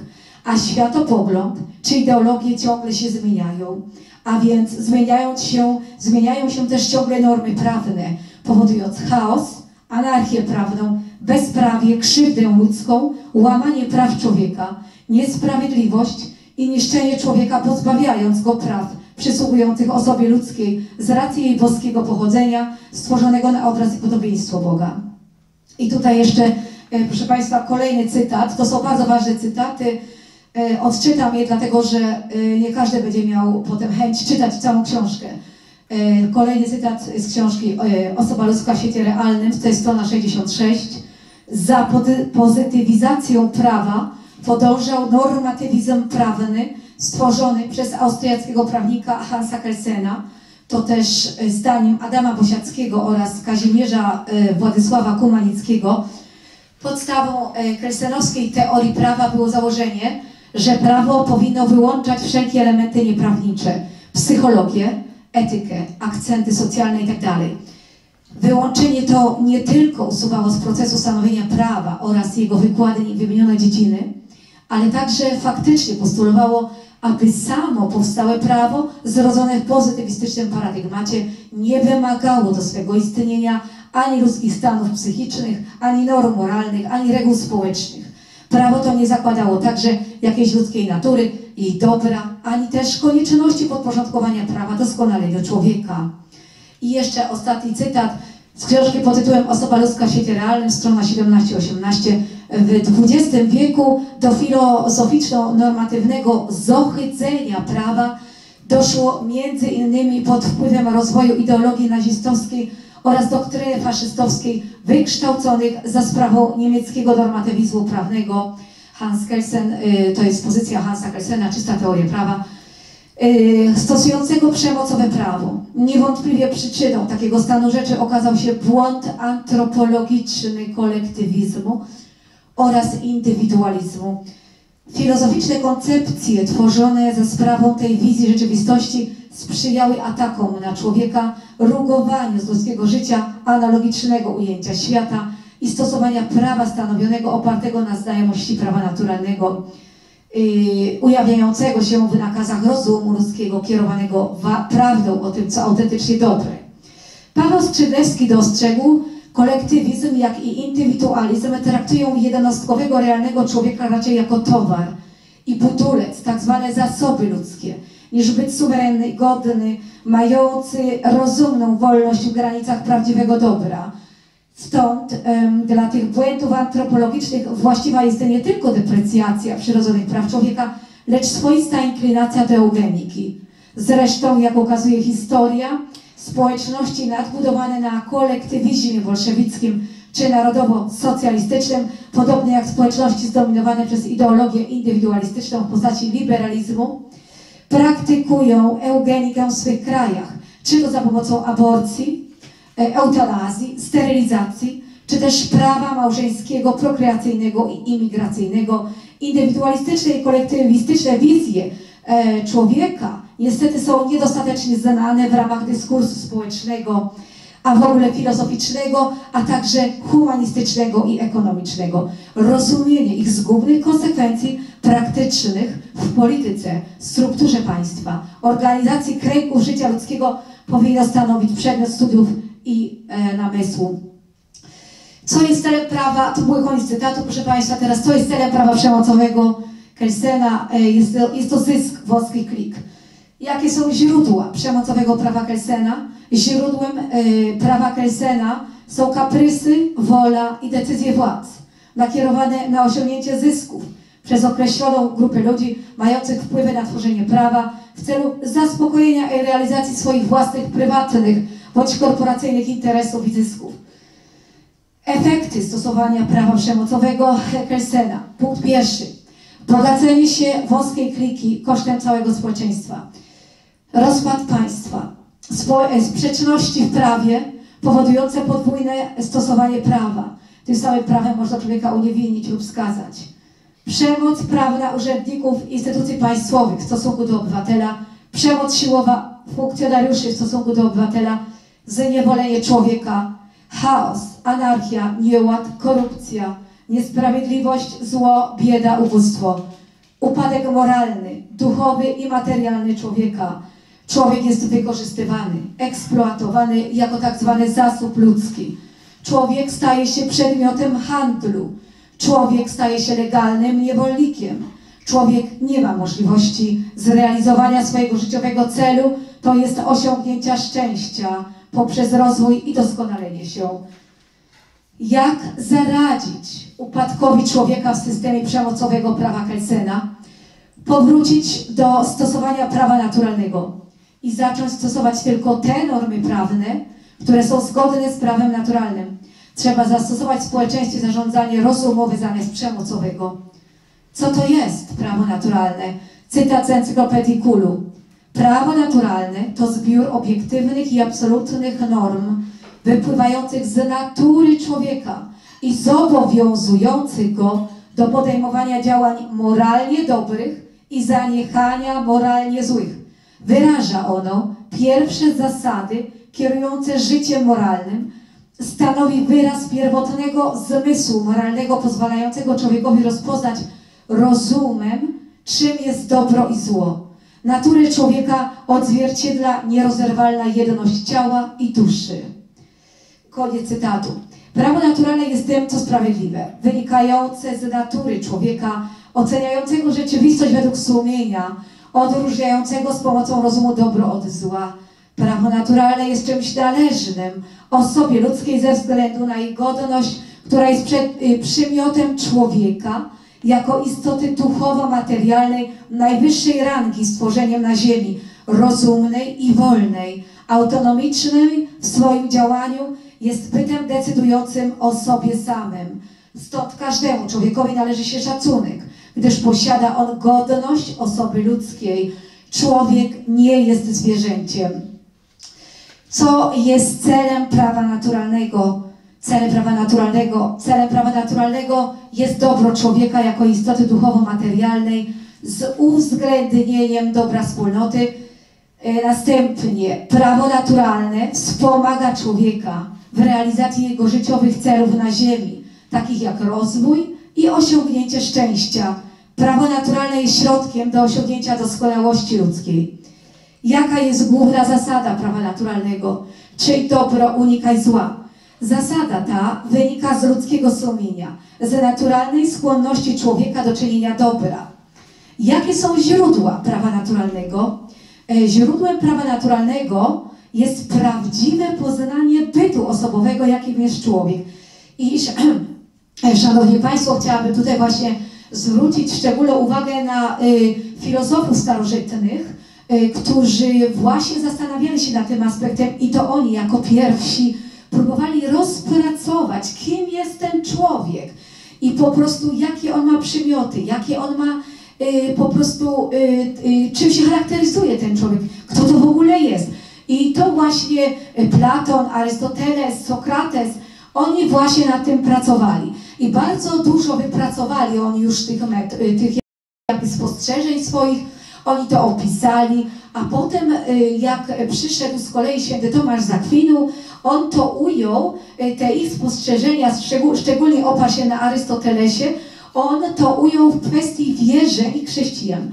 Czyli powiązując to wszystko z prawem miłości bliźniego, ponieważ Żydzi mieli swoje prawa, dekalog dostali od Boga, to było w Starym Testamencie, ale potem Chrystus przyniósł prawo miłości bliźniego, którego Żydzi już nie zaakceptowali. Do tej pory nie akceptują Chrystusa jako dawcy właśnie tego prawa e, miłości bliźniego. I pod tym kątem święty Tomasz z Akwinu swoim potężnym umysłem on to wszystko połączył i pięknie e, e, suma teologika, on pięknie to wszystko po prostu e, ułożył nam i także w kwestii prawa naturalnego zdecydowanie należy opierać się na, y, y, na y, wypracowanych już po prostu kwestiach przez świętego Tomasza z Akwinu, ale ja potem Państwu podam również tytuł książki, którą należy przeczytać. To jest podstawa dzieła Czesława Martyniaka. To jest dosyć gruba książka, taka gruba, ale tam właśnie ten Czesław Martyniak, profesor przedwojenny, on rozprawił się z Kelsenem i on tam pięknie opisał o prawie naturalnym i uważam, że to jest pozycja obowiązkowa dla każdego, kto chce się tym tematem zajmować. Y, Zresztą został zamordowany przez Niemców, y, to mm, zaraz jak tylko weszli, to przyszli na jego uczelnię. Zamordowany został wraz z innymi y, po prostu profesorami w roku 1939. E, Szanowni Państwo, czyli tak, mamy tutaj, czyli jaka jest główna zasada prawa naturalnego? Czyń dobro, unikaj zła. Zasada ta wynika z ludzkiego sumienia, z naturalnej skłonności człowieka do czynienia dobra. Następnie, jakie są źródła prawa naturalnego? Źródłem prawa naturalnego e, jest e, prawdziwe poznanie e, bytu osobowego, jakim jest człowiek. Na czym opiera się porządek prawa naturalnego? Porządek prawny prawa naturalnego opiera się na naturalnych skłonnościach człowieka. I są takie trzy główne skłonności. Przede wszystkim skłonności do zachowania własnego bytu, czyli własnego życia. Następnie jest skłonność do przekazywania życia Oraz trzecia skłonność to jest skłonność do poznania prawdy. I to są takie trzy najważniejsze. Teraz, kim jest człowiek? Cytat. Kim jest ten, oglądany od zewnątrz, dwunogi, nieopierzony, kroczący stwór, jak nazwał go Platon? To jest cytat z książki pod tytułem Rozmowy z ojcem Kropcem o człowieku. Człowiek jest istotą duchowo-materialną, wyposażoną w sumienie, rozum i wolną wolę. Autonomiczną w swoim działaniu, zajmującą e, naczelne miejsce w hierarchii świata. Człowiek jest osobą, co oznacza jakby być stojący osobno, naprzeciw wszystkiego. Człowiek jest świadomy swego istnienia i swej wyjątkowej pozycji. Człowiek posiada rozum i tym przede wszystkim odróżnia się od zwierząt. Człowiek jest więc istotą rozumną i wolną. Co jest celem życia człowieka na Ziemi? Określenie celu życia człowieka, proszę Państwa, jest podstawową kwestią, dlatego że y, to jest związane z całokształtem życia i, e, i jakby otoczenia prawno-polityczno-społeczno-instytucjonalnego. I tutaj to wszystko powinno być właśnie y, nastawione na to, żeby człowiek był w stanie swoje cele zrealizować. I teraz tak, y, celem życia człowieka na Ziemi jest jego rozwój duchowy i materialny poprzez czynienie dobra, życie w zgodzie z własnym sumieniem, czyli z prawem naturalnym, odkrycie swojego zawodu, powołania czy misji, doskonalenia się, osiągając tym samym szczęście ziemskie i przygotowując się tym samym do osiągnięcia szczęścia wiecznego po śmierci. Teraz, jakie będą efekty stosowania prawa naturalnego? Yy, mamy tak, prawdziwe zapewnienie bezpieczeństwa mienia i życia obywateli. Pokojowe zaprowadzenie ładu, porządku, spokoju i bezpieczeństwa w państwie. Zapewnienie każdemu człowiekowi prawa do życia, czyli zapas, zakaz aborcji, eutanazji, eugeniki. Zapewnienie każdemu człowiekowi prawa do materialnego przeżycia na przykład likwidacja haraczu na ZUS. Następnie umożliwienie każdemu człowiekowi realnej możliwości osiągnięcia szczęścia poprzez jego doskonalenie się i jego rozwój jako istoty duchowo-materialnej. Następnie gwarancja zachowania państwa narodowego jako odrębnego, niezależnego, autonomicznego bytu na arenie międzynarodowej, gdyż prawo do narodów do samostanowienia jest prawem naturalnym człowieka. Powiem Państwu tyle, że według mojego rozeznania z książek, których wyczytałam, yy, dowiedziałam się, że jeżeli chcemy odzyskać nasze państwo narodowe, to zacząć trzeba od, od odzyskiwania praw człowieka. I to jest podstawowa kwestia, o czym nikt nie mówi, ani może nic nie wie. Kolejne cytaty na temat prawa naturalnego. Tak o prawie naturalnym mówił Cyceron. Istnieje rzeczywiście prawdziwe prawo, to znaczy prawo prawego rozumu, zgodne z naturą, które znajduje się we wszystkich ludziach. Jest niezmienne i wieczne, nakazując, wzywa nas do wypełnienia powinności, a zakazując, powstrzymuje od występków. Prawo to nie może być ani zmienione przez inne, uchylone w jakiejś swej części, ani zniesione całkowicie. To jest koniec. Teraz y, z książki jeszcze y, pod tytułem, zaraz jeszcze, jeszcze mam tutaj, tak o prawie naturalnym mówił Czesław Martyniak, czyli ten profesor zamordowany przez Niemców w 1939 roku. Prawo naturalne to według niego natura ludzka przetłumaczona na formuły normatywne. Dla świętego Tomasza prawo naturalne jest udziałem prawa wiecznego w rozumnym stworzeniu. Kardynał Ratzinger stwierdził, nie da się zaprzeczyć, że człowiekowi przynależą prawa, które są uprzednie w stosunku do jakiejkolwiek możliwej organizacji społeczeństwa i państwa demokratycznego. W duszy każdego człowieka jest wyryte pewne prawo, którego żadna norma pozytywna nie może ominąć, pominąć ani zagłuszyć. Koniec cytatu. E, proszę Państwa, teraz jeszcze wskażę, już e, niedługo jest tego, ale muszę to przedstawić, ponieważ osoby, które będą nas oglądać, y, powinny mieć pogląd na całokształt materiału tutaj przedstawionego. wskazówki dla sędziów, urzędników, prokuratorów, policjantów w kwestii praktycznego stosowania prawa naturalnego. E, więc tak, funkcjonariusz publiczny musi opierać się w pierwszej kolejności na stanie faktycznym, czyli na rzeczywistości, a nie na normie prawnej, czy na jakiejś fikcji prawnej. Albo na prawie uznanym e, prawnie za prawdę, a w rzeczywistości, które to prawo jest e, po prostu kłamliwe. Następnie musi ocenić, czy była szkoda materialna, czy nie było. Jeśli była szkoda materialna, to było przestępstwo. Jeśli nie było żadnej szkody materialnej, to przestępstwa nie było. Określić intencję. Osoba działała z intencją dobra czy zła. Ustalić przyczynę przestępstwa i dlaczego ta osoba to zrobiła. Czy przestępstwo było przez osoby zawinione, czy nie. Po czym dokonać mediacji w celu polubownego rozwiązania sprawy, sporu i wyznaczyć ewentualne zadośćuczynienie za szkodę. W przypadku konieczności zastosowania prawa jako sankcji lub skierowania sprawy do sądu, to taki urzędnik, policjant, prokurator musi ocenić, czy dany przepis prawny jest zgodny z prawem naturalnym. W przypadku wątpliwości należy wysłać zapytanie prejudycjalne do Sądu Najwyższego. Jeśli norma prawna jest niezgodna z prawem naturalnym, to powinien rozsądzić daną sprawę według sumienia, w prawdzie, sprawiedliwie, z uwzględnieniem dobra człowieka, z punktu widzenia jego duchowo-materialnej natury, przy uwzględnieniu dobra wspólnoty. Następnie, e, co do szkód niematerialnych i duchowych, na przykład obrazy, zniesławienia, sianie dezinformacji, to tutaj w ramach kary musi być obowiązkowe wysłanie takiej osoby na cotygodniowe zebrania klubów dyskusyjnych Agory, które muszą dopiero powstać, gdzie takie aspekty będą publicznie dyskutowane w celu dojścia do prawdy obiektywnej, w każdym konkretnym przypadku i rozumowego zażegnania konfliktu poprzez dialog. Muszą powstać takie prawdziwe strefy wolnego słowa, gdzie takie kwestie będą załatwiane publicznie. Muszą powstać agory, czyli miejsca ludzi światłych i wolnych, którzy będą radzili o kwestiach dobra wspólnego, nastawionego na dobrobyt społeczeństwa, państwa, w których będzie toczyć się głęboka debata o najważniejszych sprawach dotyczących egzystencji Polaków. E, szkoda materialna, zadośćuczynienie materialne, szkoda duchowa nakierowana na naprawę duchową, obowiązkowe uczestnictwo w klubach Agory.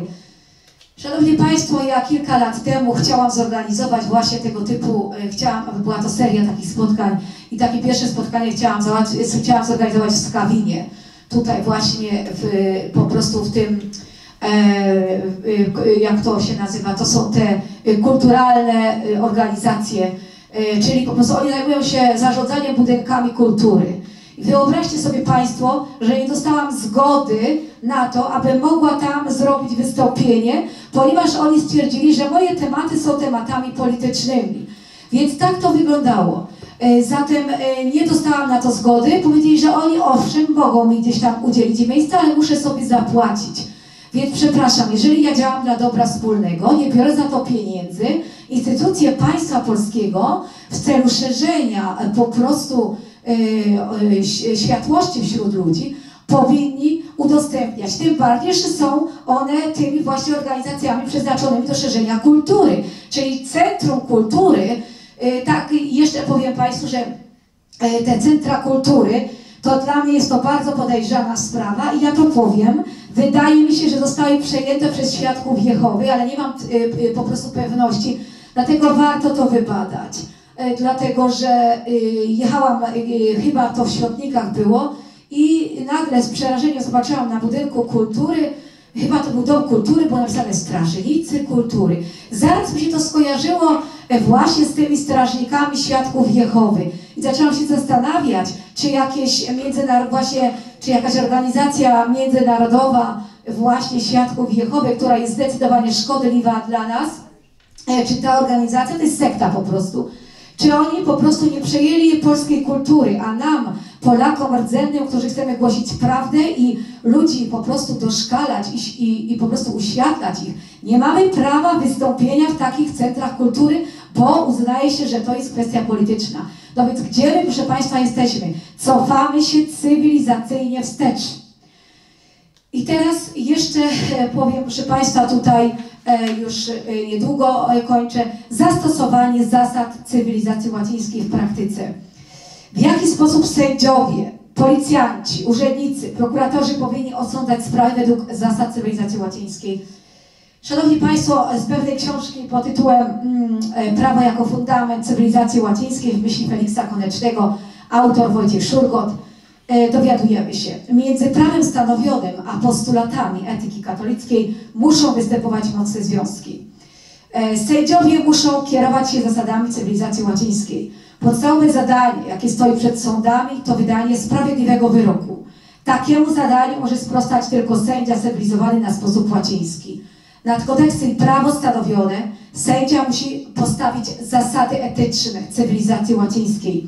Sędzia nie może stosować prawniczych wybiegów i gdy widząc, że wyrok wydany zgodnie z przepisami jest niezgodny z zasadami etycznymi, dokonać takiej wykładni przepisów, aby wydać w jego mniemaniu wyrok najbardziej sprawiedliwy. W takim przypadku sędzia powinien odwołać się wprost do wartości moralnych i też wskazać jako podstawę wydanego wyroku. I to jest koniec cytatu. E, Szanowni Państwo, Javier Herwada w swojej książce, co Marysia przytoczyła e, po mojej wypowiedzi pierwszej, e, w swojej książce pod tytułem Prawo naturalne pisze, kiedy ustawy pozytywnej, niezgodnej z ustawą naturalną, nie da się ukierunkować przy pomocy wymienionych norm, trzeba ją uznać za nieważną. I teraz y, wykaz głównych zasad cywilizacji łacińskiej. Szanowni Państwo, te zasady po prostu znalazłam, e, jakby y, skompletowałam je, to jest 10 zasad, na podstawie mojej wiedzy z tych y, y, książek, które wyczytałam e, i również wykładów e, niektórych osób, które wypowiadały się na temat prawa naturalnego. Na YouTube było trochę też tych wykładów, oczywiście mówię o poważnych wykładowcach. Więc skompletowałam, zebrałam i tak. y, Pierwszy, y, bo być może jest ich więcej, ale ja na razie te, które udało mi się skompletować, to są tak. Pierwszy punkt. Uznanie prawdy obiektywnej e, za naczelną i bezwzględną wartość etyczną. I szanowni Państwo, przypomnijmy sobie, jak zawsze się mówi, e, poznajcie prawdę, a prawda was wyzwoli. I myślę, że to jest właśnie związane e, przede wszystkim z naszą wiarą. E, Druga rzecz, e, uznanie sprawiedliwości i miłości bliźniego jako fundamentów państwa. Trzeci, trzecia zasada, szacunek dla godności każdego człowieka, czyli należy szanować każdego człowieka, widząc nim, że on jest nam równy. Wszyscy jesteśmy równi, zresztą nawet prawo, e, nawet prawo międzynarodowe, deklaracja praw człowieka czyni wszystkich ludzi równymi. Czyli szacunek dla godności każdego człowieka. Następnie szacunek dla czasu. No niestety, proszę Państwa, tutaj jeżeli chodzi o tą zasadę szacunek dla czasu, to w ogóle nie jest to brane pod uwagę. Jeżeli weźmiemy pod uwagę, jak e, ogromne szkody e, robią sędziowie, prokuratorzy, urzędnicy państwowi, którzy piszą pisma bez sensu do ludzi, pisma, które nie mają żadnego, e, żadnego rozwiązania, nie proponują żadnego załatwienia sprawy, tylko piszą, żeby pisać opierają się na głupim prawie, czyli na jakichś procedurach, które są bez znaczenia w danej sprawie i oni powodują, że my musimy się przed nimi bronić, musimy pisać i to jest zbrodnia przeciwko ludzkości. Oni kradną nasz czas. Kradną czas, kiedy my, mo, y, ma, powinni, który my powinniśmy y, po prostu poświęcić na nasze życie, na rozwój naszej osobowości, na budowanie naszego dobra duchowego, materialnego, na pomaganie innym ludziom. Oni nam to wszystko zabierają za pomocą właśnie tego, że kradną nam czas. I proszę Państwa, ja za każdym razem jak piszę i robię zawiadomienie na sędziego, to ja piszę kradzież czasu, że on mi ukradł czas, dlatego że ja zamiast robić inne rzeczy muszę odpisywać na listy czy na pisma, w których oni mnie atakują. Że oni mi mogą zrobić to, a mogą mi zrobić tamto, więc to jest po prostu szantaż, tak inaczej jeszcze, no to już jest inna rzecz. W każdym razie, proszę Państwa, punkt, jakby czwarta zasada, którą udało mi się znaleźć, to jest szacunek dla czasu. Piąta zasada, upowsze- upowszechnianie rodziny monogamicznej i ochrona. Czyli tutaj właśnie chodzi o to, żeby jednak był jeden mężczyzna, jedna kobieta, e, przeciwdziałanie e, wszelkiego rodzaju rozwodom. I tutaj e, to jest bardzo głęboki temat, e, ponieważ e, wiadomo, że były, są i będą, ale chodzi o to, żeby jak najbardziej te rozwody, żeby jak najmniej ich było. I tu już y, y, wchodzą w grę, y, wchodzi w grę organizacja życia społecznego, politycznego, gospodarczego, bo jeżeli stworzy się warunki gospodarcze, że mężczyzna nie jest w stanie zarobić na rodzinę i na kobietę, a kobiety są bardzo rozwydrzone i, i pretensjozne, dlatego że one po prostu słuchają głupiej telewizji i uważają, że wszystko im się należy, że mężczyzna musi zarobić i tak dalej. No więc y, w takich sytuacjach, proszę Państwa, no niestety y, one cały czas są niezadowolone i gnębią tych swoich mężczyzn. Y, I potem sąd wydaje wyrok, że wina jest mężczyzny. Tacy mężczyźni, a naprawdę jest ich dużo, bo ja, y, dzwonili do mnie pokrzywdzeni mężczyźni, oni po prostu tracą wszystko. Czyli nie mają już po prostu, y, są upodleni, y, zostaje im zabrana godność człowieka, godność ojca, y, nie pozwala im się widywać z dziećmi.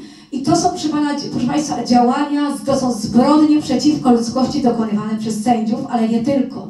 To również przez tych polityków, którzy tak ułożyli to, pra, to życie społeczno-polityczno-gospodarcze, które nie pozwala na normalną, na normalne funkcjonowanie. Nie wspomnę o, y, proszę Państwa, udziale mediów. Przecież ci ludzie, ja to powiedziałam trzy lata temu, ci ludzie powinni zawisnąć na szubienicy. Dziennikarze z telewizji polskiej powinni wisieć.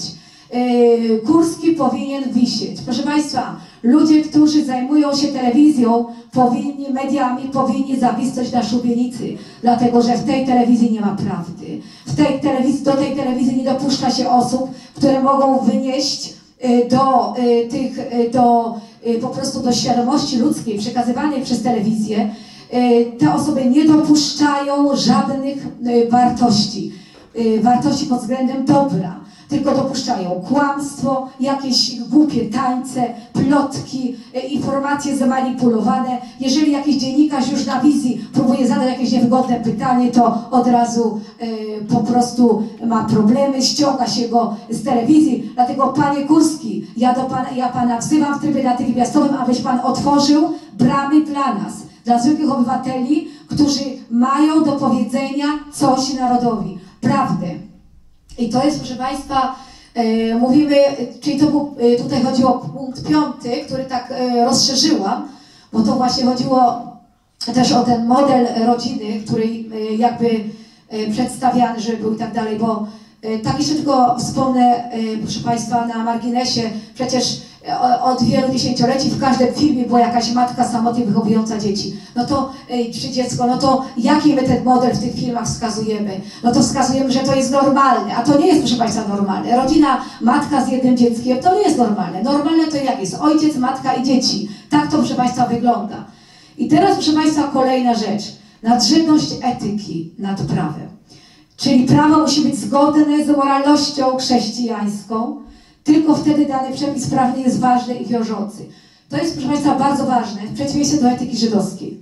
Dlatego, że Żydzi uważają, że to, co jest zgodne z prawem, to jest moralne. To jest całkowity odwrot, całkowita odwrotność tego, co my, jako ci ludzie wierzący, chrześcijanie, uważamy, że jest po prostu yy, prawem.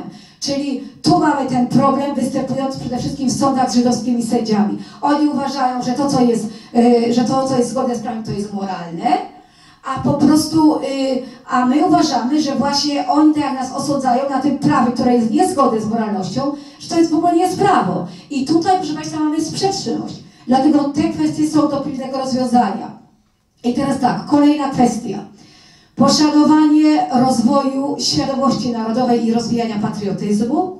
Następnie y, punkt ósmy, ósma zasada. Uznanie za cel prawa. Dobro człowieka z punktu widzenia jego duchowo-materialnej natury przy uwzględnieniu dobra wspólnoty.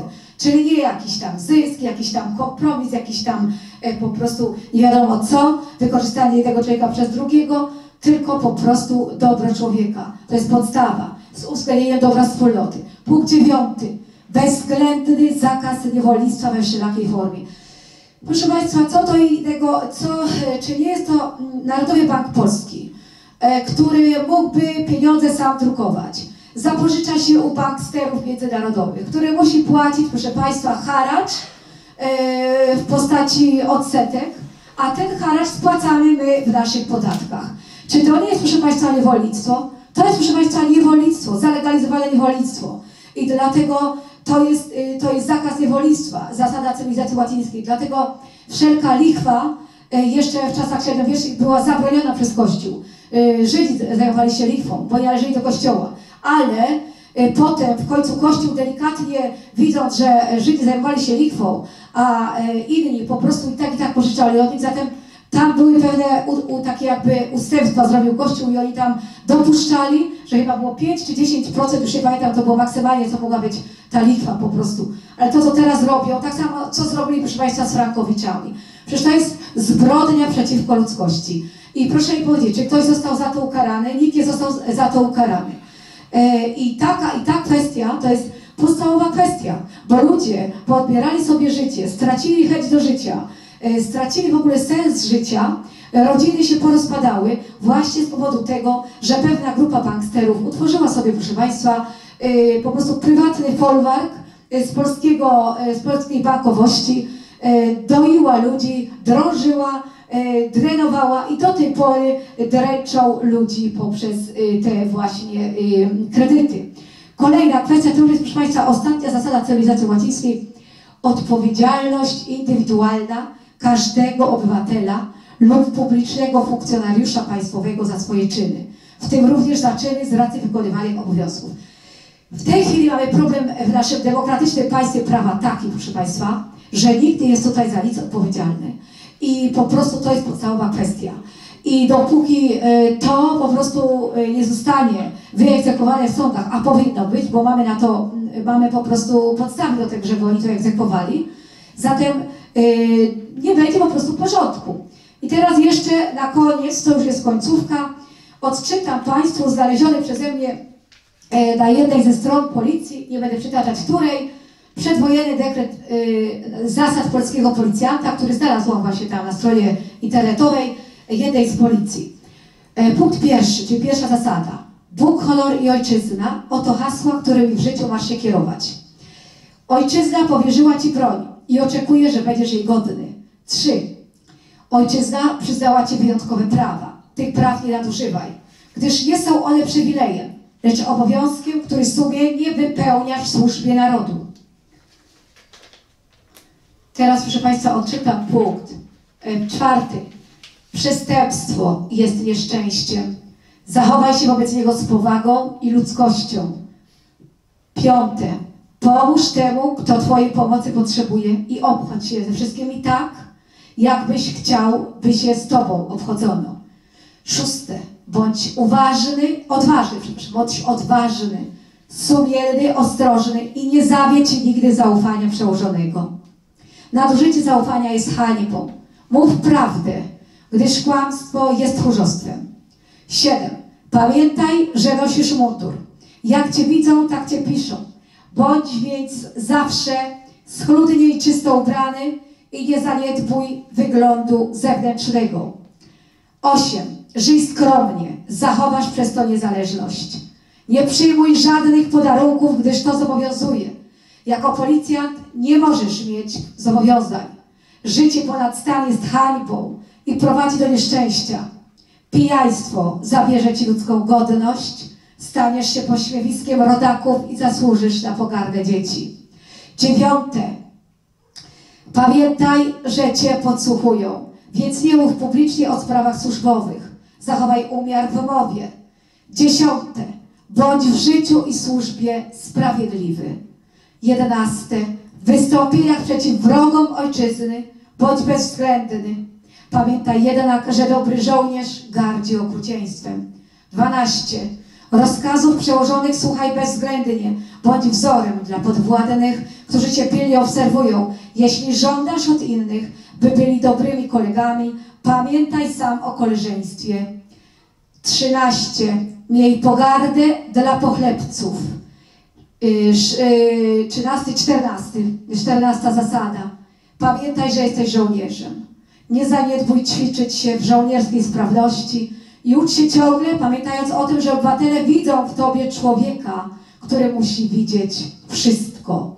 Szanowni Państwo, ja dziękuję e, za e, uwagę, jeżeli chodzi o moją, o moją e, prelekcję. Zaraz tutaj jeszcze wyświetlę listę y, wykaz literatury będziecie mogli Państwo sobie y, na ekranie y, zczytać.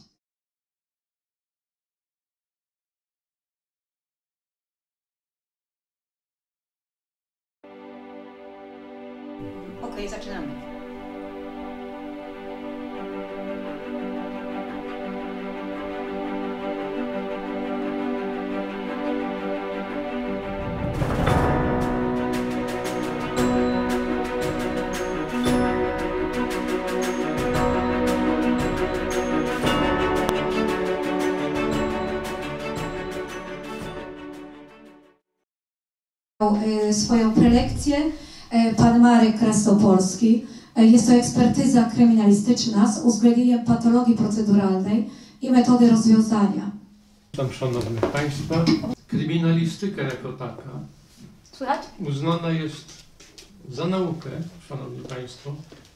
Jest to nauka spe, dosyć specyficzna, albowiem jej zakres jest interdyscyplinarny. Jak to rozumieć? Anoż należałoby to zrozumieć w ten sposób, że nasze życie codzienne w społeczeństwie jest podporządkowane w ogóle naukom jako takim i ten zbiór się kształtował wieloletnio, ale sama kryminalistyka to y, jako określenie i wykładnia najbardziej się y, ukształtowało w okresie XIX wieku wraz z nastaniem rewolucji technicznej, o czym na pewno Szanowni Państwo wiecie. Co to jest takiego ta kryminalistyka? Ona pobrała na swój powszechny użytek wiele dziedzin, dyscyplin naukowych, korzysta, że tak powiem, z fragmentów wprawdzie, ale do tego należy i matematyka, i fizyka, które bezwzględnie są uznane za nauki. Już pomijam fakty inne, że na potrzeby właśnie tego prawa, o którym poprzednik wystąpienia mówił, yy, ma zdefiniować właśnie tą prawdę, prawdę obiektywną, prawdę materialną, to w zależności od spojrzenia, od kąta spojrzenia, jak to rozumieć. Prawda materialna od zawsze ciekawiła społeczeństwa i dążeniem było właśnie dochodzić tej prawdy. Natomiast, jak wiemy, każdej akcji towarzyszy reakcja, która jest przeciwnie skierowana i która będzie powodowała, że znajdą się tak zwani opozycjoniści, którzy będą wykorzystywać tą antytezę tej prawdy materialnej, a więc jak dążyć do tego, żeby poznać i zasady działania przeciwnika, jeszcze dużo, dużo wcześniej, anim on do, przystąpi do akcji, która będzie się zwała po prostu przestępstwem, czynem przestępnym. To zawsze było, jest i będzie domeną w ujawnianiu identyfikacji przez kryminalistykę.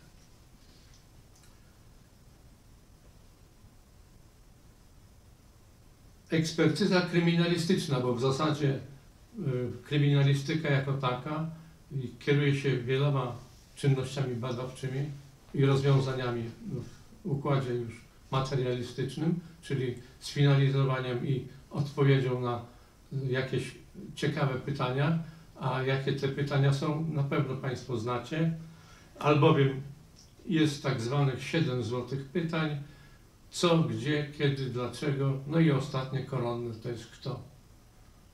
Nasze życie codzienne, aktualnie, trzeba podkreślić, stało się walką.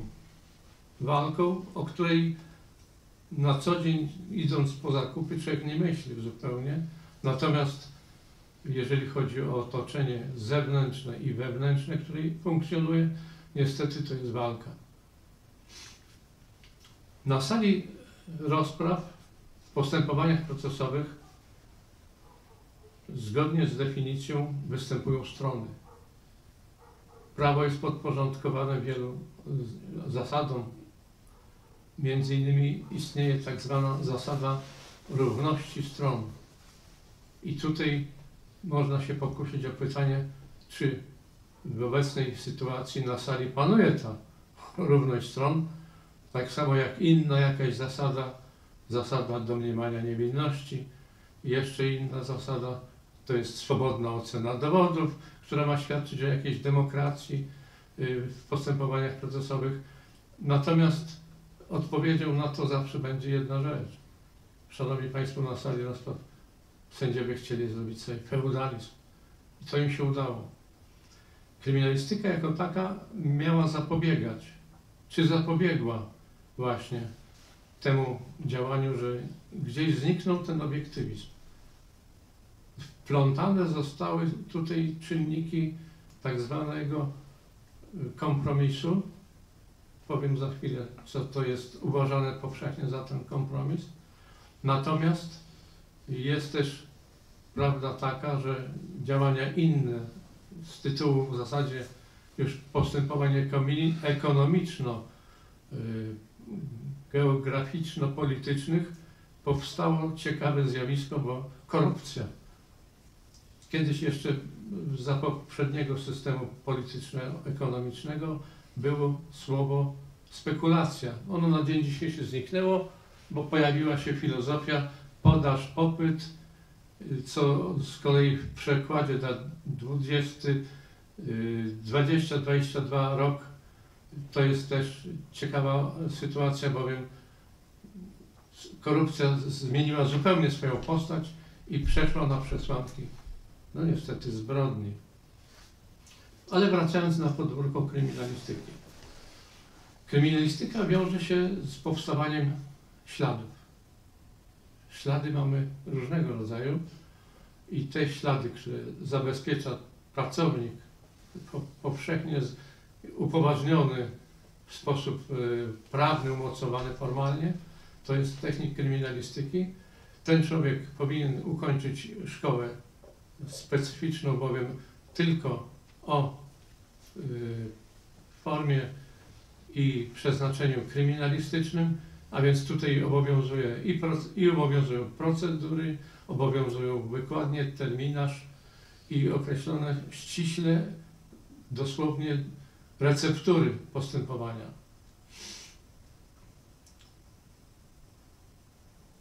Do niedawna jeszcze, będę to mówił teraz na swoim przykładzie, przechodząc do pracy w pionie kryminalistyki, bo takiej reprezentowałem zawodowo przez kilkanaście lat, była sytuacja taka, że opuściłem laboratoria uczelniane, gdzie zostawiłem naprawdę sprzęt, o którym mi się nie śniło, a przyjmując y, ofertę resortu spraw wewnętrznych, bo zostałem oddelegowany do pracy w laboratorium kryminalistycznym, stwierdziłem, że zamieniłem, zamienił stryjek siekierkę na kijek. Trzeba było zastąpić technikę intelektem i trzeba powiedzieć, że jako absolwent Wyższej Szkoły Inżynierskiej sprawdziłem się z, z, tym, z tą zamianą, prawda, siekierki na kijek, bowiem mi- mimo wszystko dostęp do mikroskopu elektronowego miałem, posiadałem. Ślady. Czym się charakteryzują ślady? Nie ma takiej, proszę Państwa, sytuacji, ażeby sprawca nie pozostawił śladu. Nie ma tak zwanej zbrodni doskonałej. O tym wszyscy wiemy.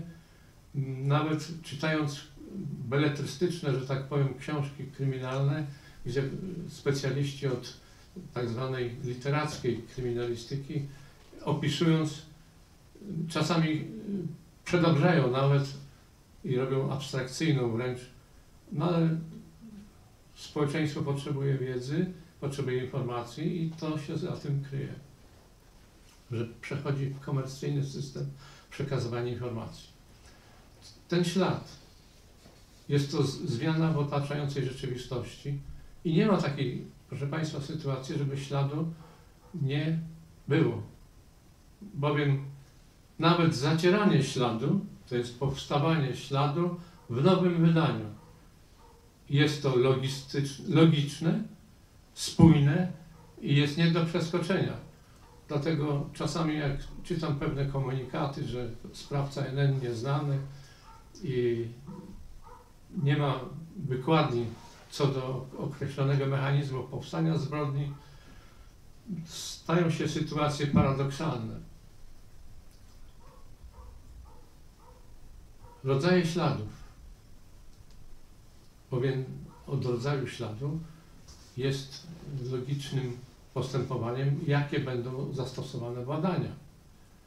I kryminalistyka podzieliła na kilka obszarów te badania.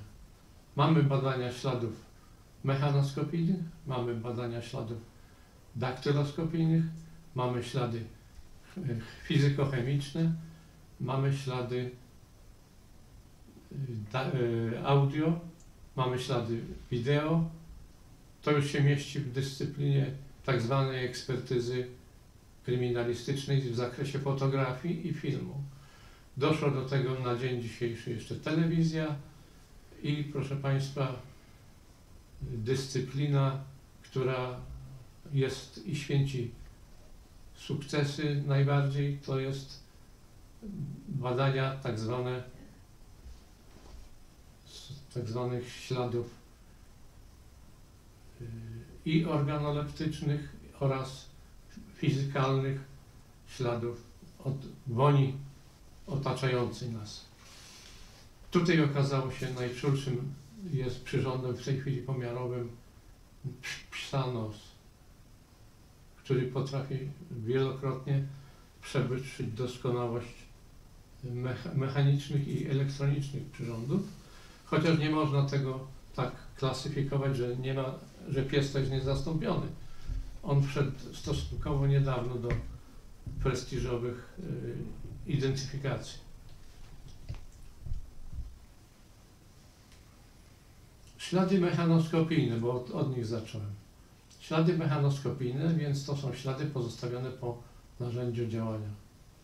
Narzędzia, proszę Państwa, wbrew takim, to nie są tylko te klasyczne narzędzia, czyli narzędzia przykładowo stolarskie, ślusarskie, yy, mechaniki precyzyjnej, obróbki mechanicznej, to są wszelkiego rodzaju narzędzia, to są narzędzia nawet adaptowane. To może być łom, to może być młotek, to może być nóż. I teraz w zależności od tych narzędzi powstały tak zwane selekcje i klasyfikacje tych śladów. Jeżeli, yy, Szanowni Państwo, jeżeli mówię coś oczywistego, co Państwo znacie, to proszę mnie od razu wyłączać, bo bym przechodził do następnego działu. Ale chciałem nakreślić właśnie, jak to się charakteryzuje od kuchni. Mianowicie teraz wracając do tych śladów mechanoskopijnych. Każde narzędzie wytworzone przez producenta czy przez sprawcę, bo sprawca też może być producentem, albowiem robi samodział na swój użytek do przestępstwa, czyli może to być przykładowo narzędzie w postaci wytrycha, czy jakiegoś szperaka, to do zamków się tyczy, więc on musi sobie to wyprodukować sam. I teraz powstają cechy identyfikacyjne z tego narzędzia, które w toku działania pozostawiają ten właśnie ślad, który jest najbardziej istotny dla tego, kto zabezpiecza te ślady, czyli jest to pracownik kryminalistyki. Jak ten ślad się zabezpiecza? Są dwie formy. Jest forma techniczno-kryminalistyczna i jest forma tak zwana literacka, opisowa. Opisujemy narzędzie, jego budowę, jego kształt, plus do pomocy mamy tutaj fotografię. Należy to narzędzie, czy ostrza tego narzędzia obfotografować. Obowiązują oczywiście pewne procedury, jak to narzędzie rejestrować. Powstały, proszę Państwa, albumy, przykładowo wytrychów, narzędzi tych tak zwanych szperaków. Szperaki to są takiego typu wytrychy do zamków tych typu jalowskiego. Typ jalowski z kolei się różni jeszcze między sobą, że są tam popychacze, kołeczki, plus mogą być zastosowane ostatnio kulki. Są to bardzo precyzyjne, y, że tak powiem, zamki już. To nie jest ta epoka piasta kołodzieja, prawda, kiedy drzwi były zaparte tylko y, jakimś drągiem, czy pozornie kłódką. Notabene ciekawostka taka, że kiedy w naszym kraju powstawała tak zwana techniczna organizacja, która miała uporządkować w sposób zbiurokratyzowany y, stan rejestracyjno-identyfikacyjny, to proszę Państwa, y, obiekt, który polega y, na zabezpieczeniu, podlega zabezpieczeniu, to proszę Państwa, kłódka, która wisi nad tym obiektem, to jest informacja, że ten obiekt podlega zabezpieczeniu. Tak to zostało zdefiniowane na poziomie ministerstwa. Wracając znowu do tych śladów, które są, królują, mianowicie mamy ślady indywidualne, które się cechują cechami charakterystycznymi i teraz będą tak zwane cechy grupowe i indywidualne cechy, które służą do identyfikacji dowodowej. Następnie, proszę Państwa, proces badawczy.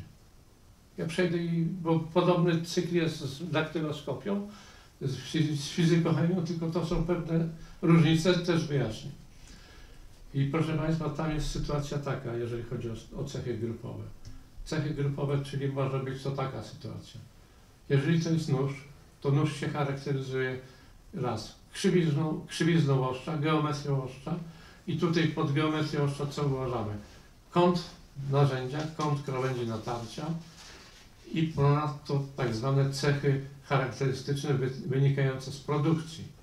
Jeżeli to było robione obróbką plastyczną, czyli następuje odbicie, odwzorowanie cechy stempla matrycy. I to będzie wskazywało na indywidualność już tego identyfikacyjną. Identyfikacja jako taka jest to naprawdę żmudny proces, albowiem najpierw dla ułatwienia należałoby prze- przepatrzyć narzędzie pod takim kątem, że patrzymy na tak zwane cechy grupowe, a dopiero następnie, kiedy mamy zgodność cech grupowych, przystępujemy do tak zwanej identyfikacji indywidualnej, gdzie w grę będą wchodziły szczególne cechy charakterystyczne. Co to jest ta cecha grupowa? E, Oprócz tych, które już wymieniłem, jeżeli przykładowo nóż miał swoją grubość ostrza, to będzie to już podstawą. Mamy ślad nacięcia, czy ślad cięcia i teraz odwzorowany ten ślad przebadamy. Inny ślad będzie cięcia na oponie samochodowej, inny ślad będzie cięcia na przykładowo gdzieś na plandece, na podłożu y, sprężystym, na materiale o podłożu twardym, inne na metalu, inne na plastiku, na spożywie sztucznym. Cecha charakterystyczna z kolei będzie wynikała z cechy tej, o której wspominałem, wyprodukowania, czyli cechy produkcyjnej i tu będziemy patrzyli w sposób następujący. Była dodatkowo podczas kra- kradzieży i włamań była seria włamań do samochodów typu Mercedes. I tutaj, proszę Państwa, nikt się nie bawił w jakiekolwiek techniczne, egzotyczno-precyzyjne sprawy, tylko przestępca, sprawca brał po prostu tak zwany podobny trochę do dłuta przedmiot i wbijał go w stacyjkę samochodu, która służyła do uruchamiania silnika. I tym sposobem właśnie wbił na siłę, wbijał ten, to narzędzie po to, żeby przekręcić, a w sumie złamać wewnętrzne zastawki tegoż zamka, bo to w sumie stacyjka samochodowa to jest zamek. To jest zamek z zapadkami, z płytkami, natomiast główną płetwą, która już nie ma jakiejś specyfiki i precyzji, to jest sam przełącznik. Ale zanim ten przełącznik się uruchomi, należy ten zamek pokonać właśnie, czyli tą stacyjkę samochodową. I co się okazało, proszę Państwa? Narzędzie było wykonane ze stali y, narzędziowej, czyli bardzo twardej, natomiast stacyjka, czołówka jego miała płytkę, którą w zasadzie, ponieważ to była firma mercedesowska, to więc me- metal, który został zastosowany, to był metalem, okazało się, które szły na gąsienice czołgowe. I teraz tutaj wyszła, wyszedł pewien paradoks, bowiem na tym narzędziu odcisnęła się ta czołówka stacyjki. Był bardzo później trudny proces, postępowanie procesowe, albowiem, proszę Państwa, nie, odzys nie odzyskano śladu, znaczy nie uzyskano śladu, y, taki, jaki klasycznie by wystąpił metal o metal, bo wystąpiła twardość materiałowa, czyli tak zwane naciski powierzchniowe nie zadziałały tym sposobem, ażeby ta płytka odwzorowała się do metalu, który był narzędziem, y, staną narzędziowym. Chodzi o twardość materiału. Tam była twardość materiału zbliżona do HRC. 60 stopni, a więc bardzo wysoka twardość.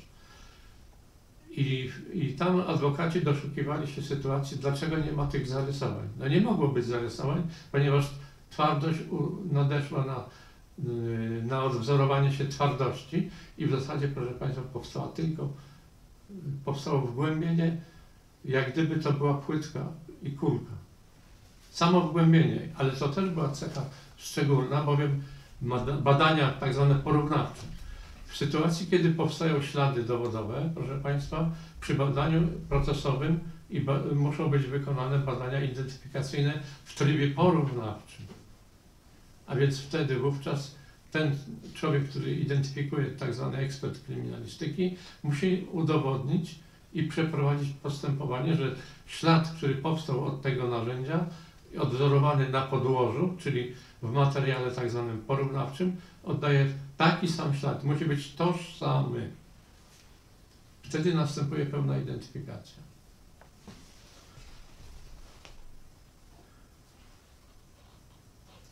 Skupiłem się na śladach mechanoskopijnych, bowiem one najbardziej są zbliżone w naszym życiu codziennym. Natomiast z kolei druga strona medalu to są tak zwane ślady antropologiczne i tutaj mowa była o daktyloskopii. Co to jest ta daktyloskopia? Otóż okazuje się, że ciało ludzkie jest wyposażone w szereg y, tak zwanych elementów, narządów, które nas charakteryzują pod względem indywidualnym. I pierwszą taką cechą charakterystyczną i indywidualną to są nasze wzory linii papilarnych, które mamy na całym ciele w zasadzie, nie tylko na opuszkach palców, ale system tak zwany bertylionażu zas, zastosował się w zasadzie do daktyloskopii i tutaj, proszę Państwa, skupiono się na liniach papilarnych na tak zwanej linii Galtona, która wyznacza punkty charakterystyczne w linii. To jest żmudny proces pod mikroskopem, identyfikacja wzorów linii papilarnych. Nie będę tutaj wyszczegóławiał, jak się nazywają poszczególne linie, czyli pętlice, wiry i takie inne esyfloresy, tylko będę starał się scharakteryzować, jak to się ma. A, a ma się to w ten sposób, że nawet czoło, nos, y, czy policzek, czy broda, i stopy, to samo, czy na kolanie, czy na udzie, będzie tak zwana występowała struktura poroskopowa, czyli kanaliki potowe, które wydzielają substancję łojowo-potową, która jest charakterystyczna też dla każdego człowieka. W sumie tak fizykochemicznie, mówię o składzie tego czynnika, bo dzisiaj przy tych badaniach DNA to wiecie Państwo, nie ma problemu, natomiast kiedyś był problem i były tak zwane procesy domniemane, które się w zasadzie sprowadzały do tak zwanej inkwizycji, czyli palenia y, czarownic na stosie, z czego starają się y, w cywilizacji uniknąć tego właśnie tego stanu. Natomiast y, znając patologię z kolei, wiemy, że to jest na co dzień i w procesie też. Dlatego kryminalistyka jako taka starała się zachować czystość postępowania procesowego. Czy się udało, czy nie, to Państwo sobie też sami dadzą na to odpowiedź, albowiem mamy do czynienia na dzień dzisiejszy z, z takim zjawiskiem, że ludzie znikają. Nie będę się na tym skupiał, bo to jest bardzo szeroki temat. Czy jest jakiś niedosyt może? Bo ja muszę tutaj mieć konfrontację, co ominąłem, co nie powiedziałem, co nie dopowiedziałem. Są jakieś może pytania w tej chwili, na tym etapie? Bo mogłem coś przeskoczyć. Nie, wszystko jest dobrze i zrozumiałe. No więc o, o to mi się rozchodzi, bo z reguły to jest tak, jak ktoś jest tym chirurgiem, to czegoś może nie widzieć, ale robi to z automatu. Ja staram się, żeby to też właśnie do Państwa dotarło w sposób No instruujące to jest na pewno. A myślę, że na, dla młodych policjantów na pewno będzie to bardzo przydatne. Ja powiem mi o patologii w policji też. Granice pozoracji działań sprawczych. Przestępczych. przestępczych. I, tak. Proszę Państwa, tutaj jest szeroka gala. Każdy przestępca twierdzi, że jest nie do wykrycia. No nie ma takiej sytuacji, tak jak wcześniej mówiłem, nie ma śladów, które, których nie ma śladów, bo powstaje znowuż nowy ślad. Teraz tylko trzeba włączyć w to logikę rozumowania, bo każdy ślad następny powstaje w powinowactwie i jest pochodny.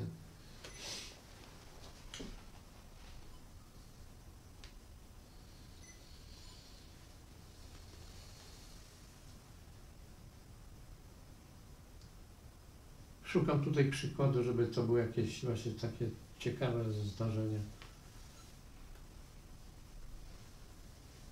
Może powiążę to z patologią prawną, która tu dominuje. Mianowicie osoba s- y, już na emeryturze będąca otrzymała w toku pracy zawodowej, otrzymała w ramach y, pracowniczych, mówię to jeszcze z epoki PRL-u, ale to, ten stan się uruchomił dopiero po wyzwoleniu, że tak powiem, naszego kraju spod okupacji.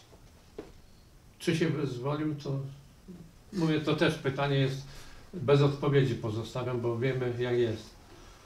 Ale mianowicie y, dostał ten człowiek możliwość zakupu działki, która podlegała pod firmę GS-u, gdzie y, jemu to odpowiadało w ten sposób, że miał posesję nad morzem w Salbinowie, miejscowość nadmorska, gdzie się, proszę Państwa, y, jemu udało wybudować dom i tym sposobem, jak uzyskał tą dzierżawę na czas nieokreślony, tak czas był nieokreślony, że wy- wyszło ponad 30 lat, ale sprawa stała się, że tak powiem, procesowa w momencie, kiedy zainteresował się tą działką pan prokurator okręgowy z Koszalina i nagle upomniał się o tą działkę.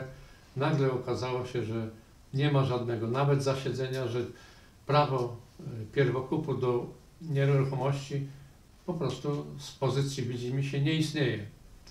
I tutaj się właśnie kłania y, taka dewiza, która panuje, no niestety nie, jest niepokonana, bowiem taki werdykt ja sam usłyszałem do siebie od pani sędziny, jako wykładnia już procesowa w toku postępowania i przewodzie sądowym.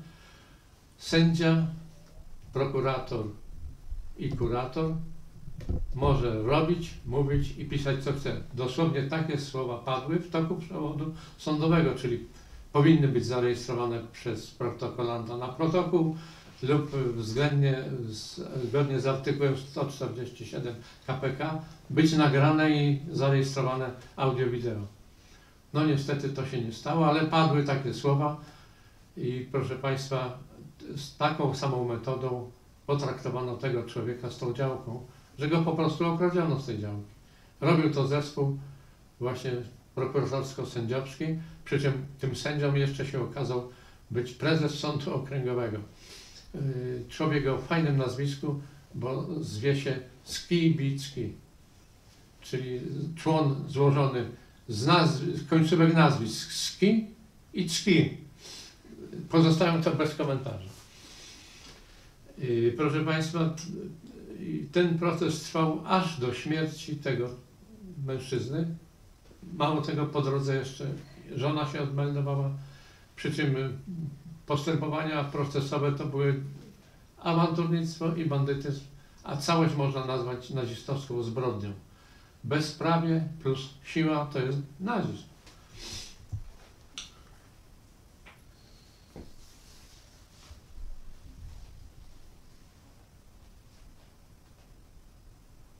Jak teraz się odnieść, proszę Państwa, y, co do właśnie tych adeptów sztuki policyjnej? Szkoliłem policjantów wielokrotnie, nie jeden raz i zawsze tym ludziom starałem się przekazać jedną dewizę. Pamiętajcie, wstąpiliście do policji, podpisujecie cyrograf. To jest cyrograf, który będzie Wam towarzyszył całe życie. Dostaliście atrybuty władzy. Tymi atrybutami władzy zawsze jest legitymacja, pała, mundur i pas służbowy, no i broń oczywiście. Pamiętajcie o jednym, dostaliście to w kilka minut, no, nawet w pół godziny, ale żeby ten autorytet zachować, musicie cały czas walczyć. No niestety, kto nie potrafił uszanować tych kilku słów, które powiedziałem, bardzo szybko kończył karierę jako policjant. A na dzień dzisiejszy jest paranoja, bowiem sam to stwierdzam osobiście, bo wydarzy, były takie wydarzenia i takie się stały, że sam osobiście powiedziałem krótko, jesteście bandytami w policyjnych mundurach. Jest to przykre, kiedy to mówi oficer policji, emerytowany, ale emerytowany. I to, co się dzieje na co dzień, niestety policjanci idą do szkół policyjnych i moje spostrzeżenie jest następujące. Młodzi adepci dostają pytanie na wykładzie sprawa. Pa- Prawo, ten przedmiot prowadzi prokurator. Mało tego, to jest kobieta prokurator. I ta kobieta prokurator ma tematy prawne, rozwiązań zgodnie z artykułami, zgodnie z procesowym e, postępowaniem, e, no ostre, bo musi mówić o tej patologii. I pada do słuchaczy pytanie, co to jest łapówka? No proste pytanie, co to jest łapówka? Szanowni Państwo, odpowiedź brzmi, bo słuchacze zaciekawili się. Jak odebrać to pytanie, czy to jest prowokacja? To była prowokacja. Ale odpowiedź prokuratora, pani prokurator, przeszła najśmielsze oczekiwania. Łapówka jest po to, taka odpowiedź była, dosłownie. Łapówka jest po to, żeby ją brać. No to szanowni Państwo, jak się młodego adepta sztuki policyjnej już na dzień dobry uzbraja, że łapówka jest po to, żeby brać, to się dziwimy, co się dzieje? Znaczy nawiązując do tego, co Pan powiedział teraz, to jest tak, że jeżeli rzeczywiście policja to firma, my jesteśmy firmy, no to mamy prawo do negocjacji, więc zanim zaproponowaliśmy zapłatę i dlatego jest Tak. to, i została przyjęta, tak? No, Mamy prawo do negocjacji, tak? No to więc to ta sprawa jest oczywista i sama się wyjaśniła. a o, o, o zapłatach mogę też mówić, ale to dopiero jest worek. Chciałbym uniknąć, żeby Państwa nie zgorszyć. Ale następnym aspektem są tak zwane supy, które też biorą pieniądze. Tak, ale to jest To jest prowokacja. nagminne w Ale to tej jest, chwili. tak, ale to jest prowokacja.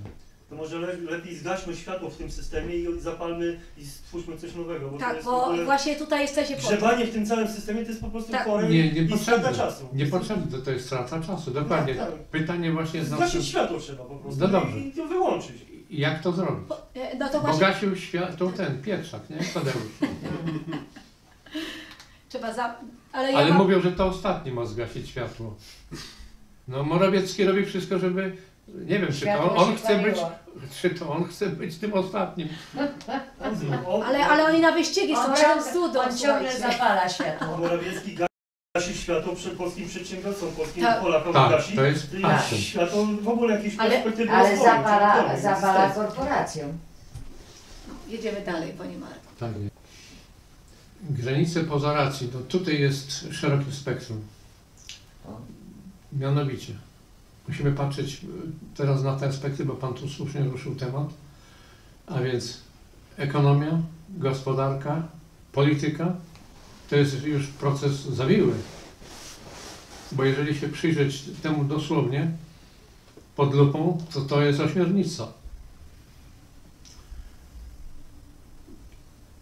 Był moment w moim życiu zawodowym taki, że otrzymałem szansę robienia pracy doktorskiej, gdzie właśnie tematem granice pozoracji działań przestępnych to był ten temat.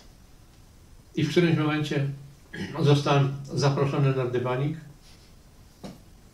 po złożeniu kolejnego materiału jak, stanu postęp, postępu prac, bo się interesował, bo to był, powiem tak, uchylę rąbka trochę, to był temat generała Kiszczaka, który miał wdrażać to do Ministerstwa Spraw Wewnętrznych. I w, I w pewnym okresie czasu już, to już była chyba końcówka, dostałem zapytanie, czy ja będę się upierał przy tym temacie, albowiem on musiałby trzy czwarte ministerstwa wsadzić do paki. Ta, takie wnioski no, wyciągnąłem z tego materiału i swoich badań. Ja powiedziałem, takie, takie opracowanie pan ma. Proszę, Ma pan gdzieś ksero tego opakowania? jest opracowania? zabezpieczone, zalakowane. No ale to trzeba właśnie roz- rozesłać, bo to nie wolno trzymać dla siebie. Proszę pana, ale już pod moim adresem było pięć wystąpień takich w 18 roku że ja powinienem już tam być. Tak, trzy razy było Pię, pięć, pięciokrotnie. Pięciokrotnie już. Włącznie z otruciem. I przebywałem w szpitalu, gdzie mnie tak leczono, żeby nie Żeby wyleczyć. nie wyleczyć. I żebym wyjechał, a później już była operacja nawet. No i a o mały włos byłbym wyjechał, bo mnie tak pani chirurg tam wycinała. Może dlatego to się powikłało jeszcze bardziej. Ale wracając do meritum. Także z tym publikowaniem, ja nie wiem, czy teraz nawet jest sens, bo tak, na bohatera się nie strugam, bo bohaterowie szybko kończą. No. Chodzi, chodzi o to, żeby przekazywać wiedzę następnym No pokoleniom. staram- wiedzieli, Staram się chociażby tą metodą, co, co dzisiaj tutaj Tak. występuje, co nieco więcej powiedzieć niż się przeczyta w tym, w podręczniku gdzieś. Proszę Państwa, więc y, tak to wyglądało, że aut, Pan będzie uprzejmy wypić kawę, koniak i do roboty i my Pana z resortu nie zwolniamy. Bo to taka wyglądała właśnie sytuacja. Linie papilarne. Nie wiem, czy wystarczająco dosyć dokładnie to przekazałem. Czyli wiemy, że nasza budowa ciała ma swoje określone parametry, które możemy skupić na liniach papilarnych. Takie, powiem, ciekawe, zabawne, humorystyczne postępowanie. Otworzyli tylko granicę na e, Odrzej i można było przekraczać do Enerdowa na dowód osobisty i dalej pojechać do Berlina Zachodniego. Takie zdarzenie. Była sytuacja, że jechałem z osobami, które gdzieś tam były notowane w policji niemieckiej na działaniach tak zwanych przestępnych.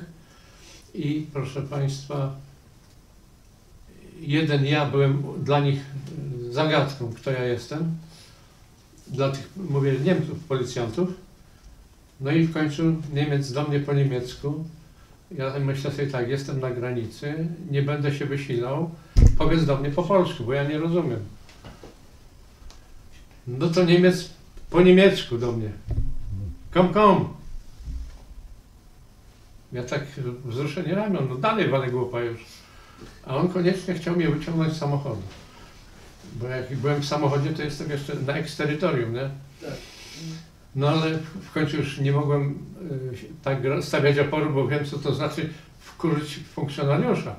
Oni też są, Niemcy są do pewnego momentu bardzo korekt, ale później to się w nich budzą faktycznie bestie. Ja widziałem, jak działa niemieckie, oni to nazywali komando, u nas to się nazywają antyterroryści, ale widziałem, jak Niemcy działają. Tam nie ma zmiłu się, czy to Niemiec, czy nie Niemiec. To tak nawet, ja wiem, no chyba jak gestapo działali. No jednak te korzenie są. W każdym razie doszło do sytuacji, że mnie Niemiec e, zaprosił do siebie i zaciągnął do biura i proszę Państwa, mówi pisać nazwisko, bo chciał mnie zidentyfikować z tymi, z tym kolesiostwem, który, z którym ja jechałem samochodem. No i daje mi kartkę papieru, daje mi długopis. Ja już wiedziałem o co mu chodzi, że chodzi mu o linie papilarne, o nic innego, że ja mam adres mu napisać dobrze. Nie mogłem go schować, bo mój paszport miał, znaczy paszport, dowód osobisty miał, więc tam adres był. To nie będę go kłamał, bawił się w jakieś ciuciubabki i, i pisałem, ale rękę tak starałem się położyć, żeby jak najmniejszą powierzchnię oprzeć ciała, żeby mu się te moje pory nie od... bo wiem, że po porach można też identyfikować indywidualnie człowieka, jak się tą siatkę od... Niemiec był nieubłagalny. Mówię, nie tak, nie tak, ty tak, ty tak i mnie cały czas chciał zmusić. No jakoś udało mi się, żeby nie dać opuszków, opa- tak artystycznie oparłem, że się Niemiec... Rękawiczki trzeba No nie, no to już... To już by było Nie, wiadomo. nie mogłem grać już tak bezczelnie. No, trzeba było być do oporu, żeby on zrozumiał. I w końcu mu mówię tak, kameradę, ein moment. I wyciągnąłem mu swoją legitymację policyjną. Już nie chciałem grać do końca, bo jakby chciał, to bym nie zrobił osobistą kontrolę, by wszystko wyłapał, nie? Jak on przeczytał moją legitymację, inna rozmowa już leciała. I do mnie mówi tak, zaczyna mnie pouczać, mówi, ty słuchać mnie, to są źli koledzy. A, a ja mówię, Schlecht, Legend, Schlecht? Ja, ja, ja. A ja wiedziałem, z kim jechałem przecież, że to byli złodzieje, no. No, to tak w ramach takich humorystycznych jakichś zachowań. Znaczy wyciągał może pana dlatego, żeby ustalić, czy nie jest pan porwany albo coś takiego. Jeżeli raczej on, on mnie raczej, nie, pierwsza wersja zawsze jest uzasadnione podejrzenie, czy ja nie jestem ich. Tak. A oni, go, a oni mnie nie mieli na swojej ewidencji. Bo on mi później powiedział, że on ich ma na ewidencji. Pokazał rejestr. Co też jest rzadkość, żeby Niemiec pokazał. To się później, proszę pana, dowiedziałem, że yy, mnie pyta tak, a Bronisław, Brunon Krasnopolski, was ist das? Wer ist das? A ja mówię, no meine Vater. Uuu, legendarisz krasnopolski, legendarisz. A ja to wiedziałem, bo Niemcy mojego ojca szanowali za to, bo był żołnierzem zawodowym i, przy, i, i w ochronie granic polskich, że Niemcy go szanowali za to na granicy, że potrafił to stazy niemieckie. Gdzieś tam ojciec co opowiadał mi parę rzeczy takich szczegółów. Jak się to bezpieka niemiecka zachowuje, to nasi wysiadali też ale potrafił sobie z nimi poradzić i na granicy. Tylko dlatego, że język niemiecki miał perfekt opanowany w kilku narzeczach. Także jak był jako delegat strony polskiej na stronę niemiecką, to się nie przyznało, że zna niemiecki. I w pewnym momencie to się przydało, bo maszynistka pisała jakiś dokument po niemiecku i, i coś tam się przekręciło. E, I Niemiec ten patrzył na ojca, czy zrozumiał mój ojciec. Mój ojciec nie dał poznać po sobie. Kiedy przyszło do podpisywania stron, ojciec palcem pokazał, tu jest błąd, nie do przyjęcia. Także zerwał im transakcję handlową. Także Niemcy też wobec nas grali nie tak, ale do meritum wracam. Czy granice pozoracji działań sprawczych są, są możliwe? Ja powiem tak, pod, pod warunkami kilkoma, że ten ktoś, kto będzie nadzorował, czy rejestrował, czy nadzorował w sensie dosłownym, pilnował procesu, da się. Czy się da przekręcić? Bo jeżeli patrzeć z kolei na logikę postępowania, to się nie da stworzyć pozoracji, bowiem w pozoracji muszą być elementy tak zwane pozorne, sztuczne, które nie wynikają z logiki. Proszę Państwa, zwróćmy uwagę na jedną rzecz. Nasza oświata, nasza szkoła. Dlaczego ludzie, którzy kształcili się nawet w warunkach jeszcze wojny, bo nie wiem, czy Państwo wiecie, w 1944 na terenach tych polubelskich, tam gdzie działał PKWN, normalnie ludzie w 1944 matury robili. I nie, nie jako tajne komplety.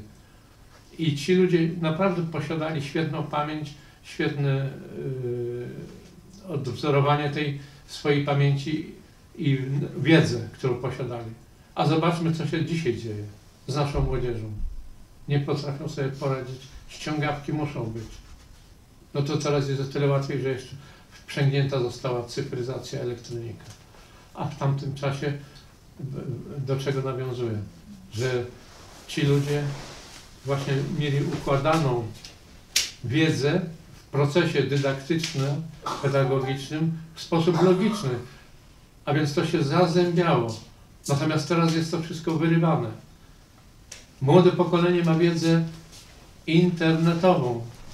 Jak to się ma? No to się tak ma, że to są powyrywane fragmenty, nie potrafią tego uzasadnić. Telekspresy po prostu. Tak, dosłownie to są skróty, krosy tak zwane. Kros może służyć, ale tylko temu, który ma określony poziom wiedzy. Ale to nie może być tak, że to jest prawda, że tak powiem, objawiona. I często się tak zdarza, że starsza osoba przed młodym człowiekiem musi, że tak powiem, podać tyły, bo ten go tą swoją internetową wiedzą, czy tym trybem postępowania zastrzeli jak z karabinu maszynowego, bo tego starszego e, człowieka co ogarnia? No ogarnia go to, że nie, nie jest tak chłonny, szybki, a młody potrafi impetem to zniszczyć. Także tutaj musimy zwracać, proszę Państwa, uwagę, żeby stwierdzać logiczność i sens dedukcji. A tego w naszym szkolnictwie, proszę Państwa, nie ma. To ja bym miał, że tak powiem, w telegraficznym skrócie tyle, bo zdaję sobie sprawę, że można do rana opowiadać i, i to będzie jeszcze mało. Znaczy musiałby pan zrobić typowo wykład Tak, Na- tak, na tak. poszczególne tematy, bo Dokładnie. sprawę Tak. To bardzo dziękujemy panu Marku, panu Markowi. I teraz może poprosimy zaraz pana Piotra. Yy, I teraz tak, pan Piotr będzie, proszę państwa, mówił o co i jak można sądzić instytucje publiczne.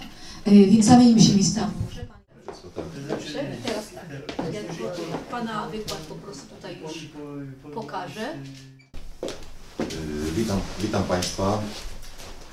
Y, Mój konspekt jest bardzo krótki, nie lubię się rozpisywać, chyba że chodzi o urzędy. Także, no co, y, co to są te urzędy, instytucje? No, ja to określam wszystko. Muzeum. I służby zdrowia, i sądy, urzędy, wszystkie y, urzędy miasta, wszelkie instytucje kierowane y, odgórnie przez rząd. Y, I co mogę powiedzieć? No, przede wszystkim podejście do urzędu. Kiedyś, y, jak pamiętamy, urzędnik y, mógł wszystko, tak? Urzędnik robił wszystko, za nas przychodziło się, to trzeba było się prawie kłaniać, dopóki se pan urzędnik kawy nie wypił. I to do tej pory raczej funkcjonuje w niektórych tych. Mało jest urzędów, gdzie naprawdę traktują ludzi już, e, powiedzmy, z, pewną, z pewnym szacunkiem. Zależy to też wszystko od urzędnika, jak podchodzi do tego. Kiedyś urzędnik miał już jakąś tam wiedzę, w tej chwili ma wąską działkę, z której nie wychodzi. Jeżeli coś załatwiasz tym, z tym urzędnikiem, to nie załatwisz więcej, bo naprawdę ma bardzo wąską wiedzę urzędnik w tej chwili. No i co? No i raczej mało który urzędnik zna się na prawie, z reguły dostaje wytyczne z góry, że w danej sprawie ma postępować tak i tak. I teraz, y, jeżeli ja idę do urzędu, ja już tam od, od lat y, czasami mi się nie podobało postępowanie urzędników i, i czasami potrafiłem wywalczyć jeszcze naście lat temu swoje prawa. W tej chwili to się nasiliło, moje postępowanie wobec urzędników, chyba po rozpoczęciu, rozpoczęciu pandemii, bo wtedy ludzie zaczęli jakby bardziej szanować swoje prawo i bardziej wiedzieć, co im się należy, bardziej szukać, yy, jakie mają prawa, bo kiedyś szło się do urzędnika, urzędnik załatwiał wszystko, wracało się i tam nikt się nie interesował za bardzo swoimi prawami. W tej chwili jakby to się nasiliło, ludzie się budzą, y, szukają swoich praw, walczą o swoje prawa. Y, No i w jaki sposób y, po prostu wchodzić do tego.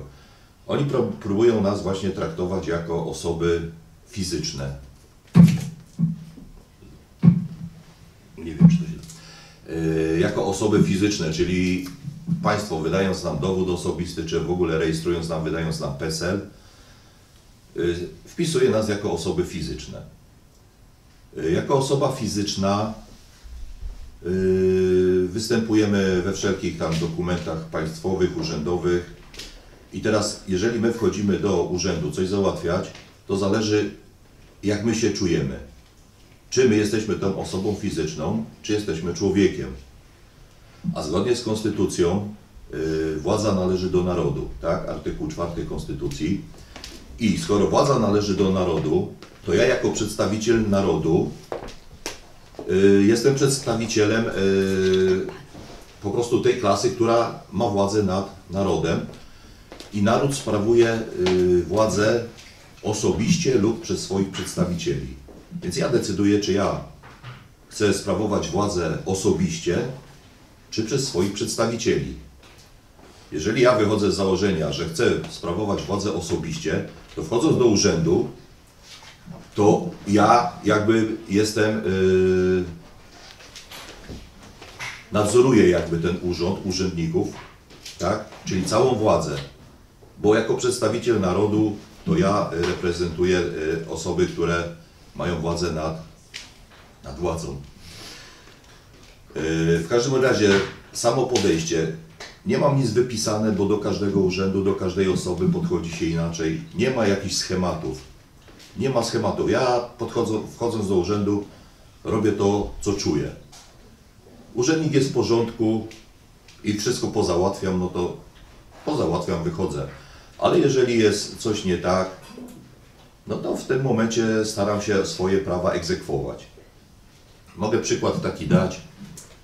Yy, Teraz co się działo, pandemia była.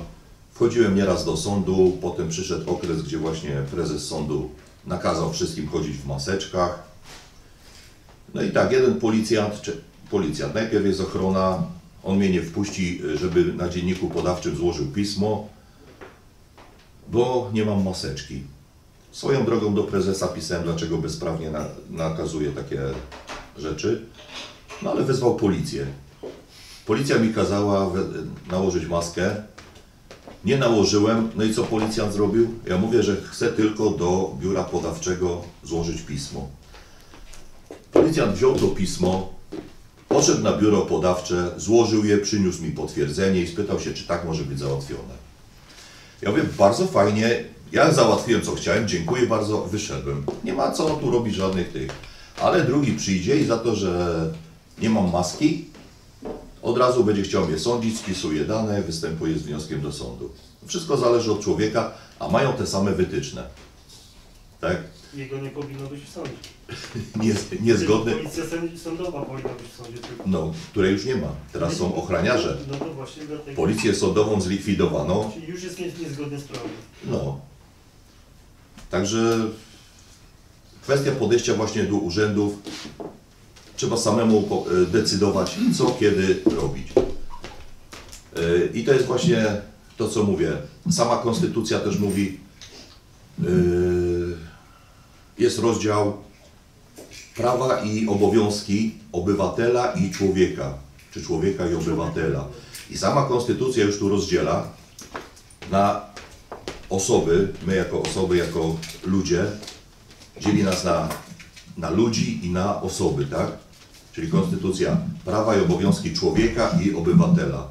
I teraz niby takie nic nieznaczące, no ale jak się przyjrzymy prawu, to w jednych prawach mówi się o człowieku, a inne prawa się przyznaje obywatelowi.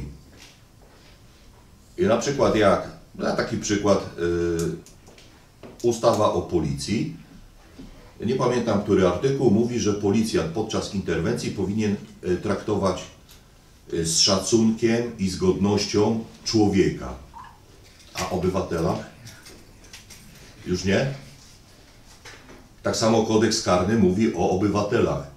Wszystkie przepisy dotyczą obywateli. Chyba jeden artykuł właśnie, z tego co tam kiedyś rozmawiałem, dotyczy tylko człowieka. W jednym artykule tylko mówi się o człowieku, a resztę dotyczy obywateli. Więc co, jak ja jestem człowiekiem, a nie obywatelem, to mnie nie dotyczy kodeks karny. Można tak dywagować, oczywiście przed sądem ciężko to wybronić. No. No i tak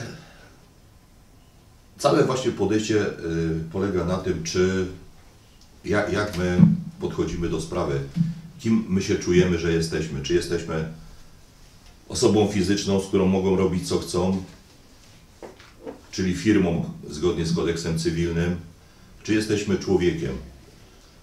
I na przykład y, kilka przykładów z urzędami. O sądach już nie będę wspominał, chociaż może potem wspomnę, ale przykładowo y, instytucje służby zdrowia. Przyszedłem i w czasie COVID-u nie chcieli mnie przyjąć, chociaż wcześniej mnie przyjęli bez maski yy, u ortopedy. Przychodzę po jakimś czasie już z badaniami, bo mnie skierował na badania i nie przyjmą mnie, bo nie, ma, nie mam maski. Ale ja mówię, nie muszę nosić i tak dalej. Są wytyczne z góry, gdzie maskę trzeba nosić. Dla pracowników. Yy, nie, ale pacjenci też. I nikogo nie wpuszczą, do lekarza mnie nie wpuszczą. Jeszcze przy mnie, ja mówię, że przecież niedawno u lekarza byłem, jeszcze przy mnie gdzieś dzwoniła i stwierdziła, że nie, że oni mają nakaz nie przyjmować. Dobrze, ja przyszedłem na drugi dzień, przyniosłem im prawo, e, kartę praw pacjenta, ustawa NFZ. Wszędzie pisze, że mają mnie przyjąć, tak? Ale ich to nie, bo oni mają wytyczne z góry. Prawo ich nie interesuje. Oni mają wytyczne. No i tak postępują urzędnicy, tak? Ja im się nie dziwię, bo oni te wytyczne mają, oni dbają o pracę, o rodzinę. No, a sko- skoro mają takie wytyczne i pracodawca mówi, że ich zwolni, no to trochę się nie dziwię tym urzędnikom. Dlatego napisałem y, do NFZ-u, że mają mi składkę zwrócić, bo nie chcą mnie leczyć. Podałem, kiedy mnie nie, nie chciano przyjąć do przychodni. Jaka przychodnia, kiedy. Dostałem po tygodniu odpowiedź, że przychodnia stwierdziła, że mnie tam w ogóle nie było. Ale jak po dwóch tygodniach poszedłem się zarejestrować, że bo mi termin uciekł, to już się nawet słowem nie odezwali, że nie mam maski. Ciekawe. Dobrze. I, I to jest po prostu kwestia, z, y, musimy znać, właśnie musimy znać, nie, nie musimy.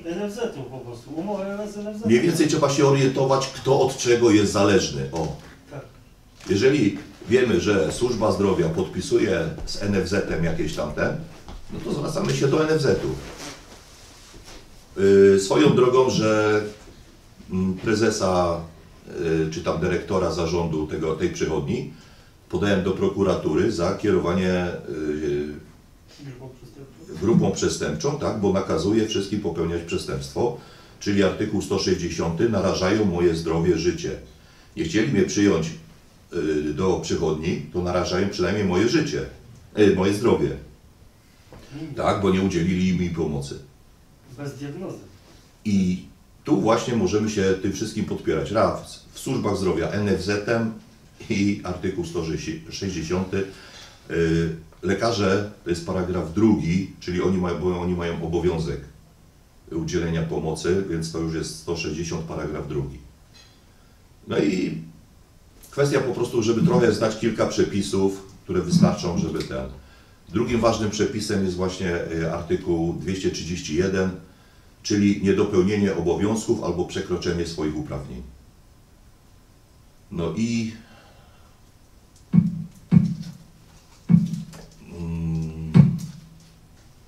231 przekroczenie swoich obowiązków. Bo Ja mam tych.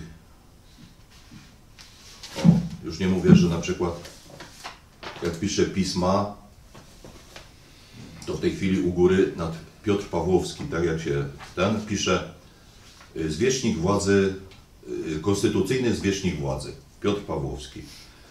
No. Yy, Znaczy, no bo jeżeli z, z NFZ-em mamy umowę, kontrakt, tak, na, lecze, na usługi medyczne, oni nie wywiązują się z kontraktu, No no, do- to teraz tutaj trzeba byłoby zobaczyć, jakie są konsekwencje niewywiązania się z kontraktu, jakie odszkodowania nam z tego tytułu przysługują, tak? No bo to Dokładnie. jest narażenie życia i zdrowia. dokładnie, jest nawet. A nie jak- jesteśmy ich pracownikami, żeby mogli nam wydawać polecenia, tak? Dokładnie. Y, Jest nawet y, konstytucyjny taki ten, y, taka tabela właśnie, y, co, co ile możemy żądać za jaki czyn. I to jest europejska tabela, która Polska Ale ratyfikowała. ja nie wiem, czy to rzeczywiście tak jest, bo y, ostatnio coś, ktoś mi podesłał, że to, że to nie jest prawda.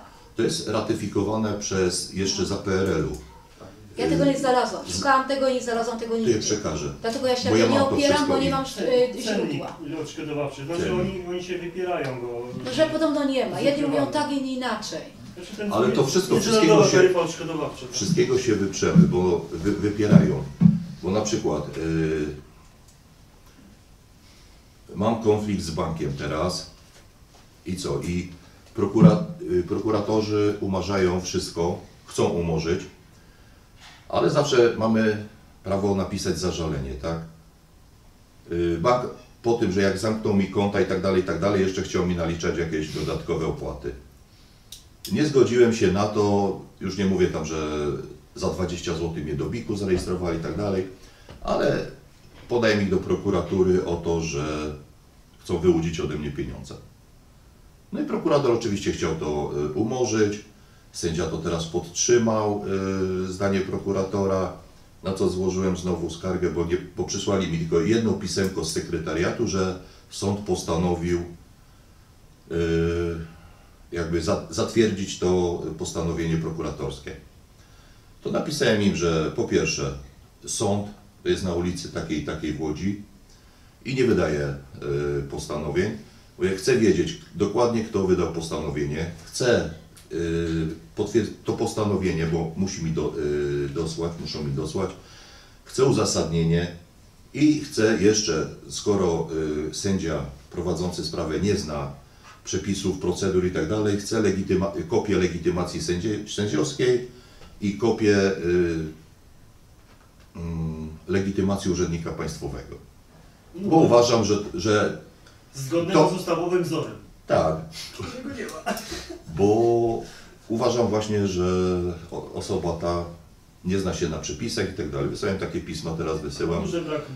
Y, To samo w sądzie. Wchodzę do sądu, już nie mówię jak tam policjantów pouczałem, że nie muszę nosić maski, bo przylecieli, że ja stoję bez maski. No jak im zacząłem mówić, aha, i że muszę mieć, żeby nie nosić maski, muszę mieć lekarskie zaświadczenie. No i mówię, oprócz leka- lekarskiego zaświadczenia jest inny dokument potwierdzający, że nie, może, nie muszę nosić maski. A dokumentem może być nasze oświadczenie. A właśnie, i się pytam pana policjanta, czy pan wie, co to jest dokument? Wyrwałem kawałek kartki, bo nie miałem czasty, y, czystej strony całej, miałem kawałek ten i mu napisałem tak, bielsko-biała, oświadczenie, oświadczam, że nie muszę nosić maski, podpisałem się, widzi pan, i to jest dokument. I ten dokument potwierdza, że ja nie muszę nosić maski. I no i co, nie wiedzieli co zrobić, po prostu chodzi trochę o zdanie prawa. Ale tu jest właśnie kwestia, to jest prawo stanowione, które sobie ustanowili. Mhm. Jakbym się zaczął powoływać na prawo naturalne, to na pewno nie, nie miałbym zrozumienia, bo oni nawet nie mają pojęcia o tym, Co to jest? co to jest. co to jest prawo naturalne. Ale znając trochę przepisy, można z nimi sobie ten. Jak wszedłem, nie wiedział policjant co zrobić, wszedł na, mówię, "I niech pan idzie do sędziego, czy mnie przyjmie bez maski. Za chwilę pogadał tam chyba tam z sędzią, tego wyszedł, nie, nie przyjmie pana. No ale jest wezwanie na sprawę, wchodzę. No i sobie rozmawiam i yy, nie pamiętam o czym ten, ale cały czas do niego mówię pan, pan, pan. W końcu ten pan za szybko się yy, wkurzył i mówi tak. Do sądu zwraca się wysoki sądzie. Ja mówię, dobrze, niech pan mi wyciągnie legitymację, pokaże, że pan jest sędzią i będę się zwracał wysoki sądzie. I co było? 10 minut przerwy. Agresja. Nikomu spadł. Musi sobie wydrukować. No. Panie Piotrze, z tyłu proszę uważać. takie same sytuacje yy, właśnie na przykład po takich różnych yy, rozgrywkach między sędziami napisałem do prezesa sądu, czy taki i taki sędzia y, może yy, Procedować może procedować, czy ma do tego uprawnienia itd. itd. Pan prezes sądu y, wysłał mi stronę internetową Bielski Sąd y, Rejonowy, gdzie stwierdziłem, że o sędziego, y, te- o którego się pytałem, jest na liście orzeczników i w tym momencie się okazało, że na stronie sądu jest lista sędziów i lista orzeczników. I teraz co? Moje pytanie. Czym do pana prezesa sądu, czym różni się orzecznik od sędziego? I czy orzecznik może wydawać wyroki? Odpowiedź pana prezesa: yy, Nie będę panu udzielał porad prawnych. Taka była odpowiedź. Ale szukałem w prawie, nigdzie nie ma yy, takiej funkcji jak orzecznik. Jest orzecznik lekarski, to jest Tak. jedyny Tak. w prawie. Nie ma orzecznika. Czyli co? Jak byłem teraz w archiwum, yy, Jak nie ma, to sobie trzeba stworzyć. jak byłem teraz w archiwum, zapoznawać się z moimi aktami, Oczywiście. to się okazało, że na wyrokach, jak jest na samym końcu podpis, jest tylko parawka sędziego, a nie ma żadnej pieczątki ani nic, że on jest sędzią albo cokolwiek.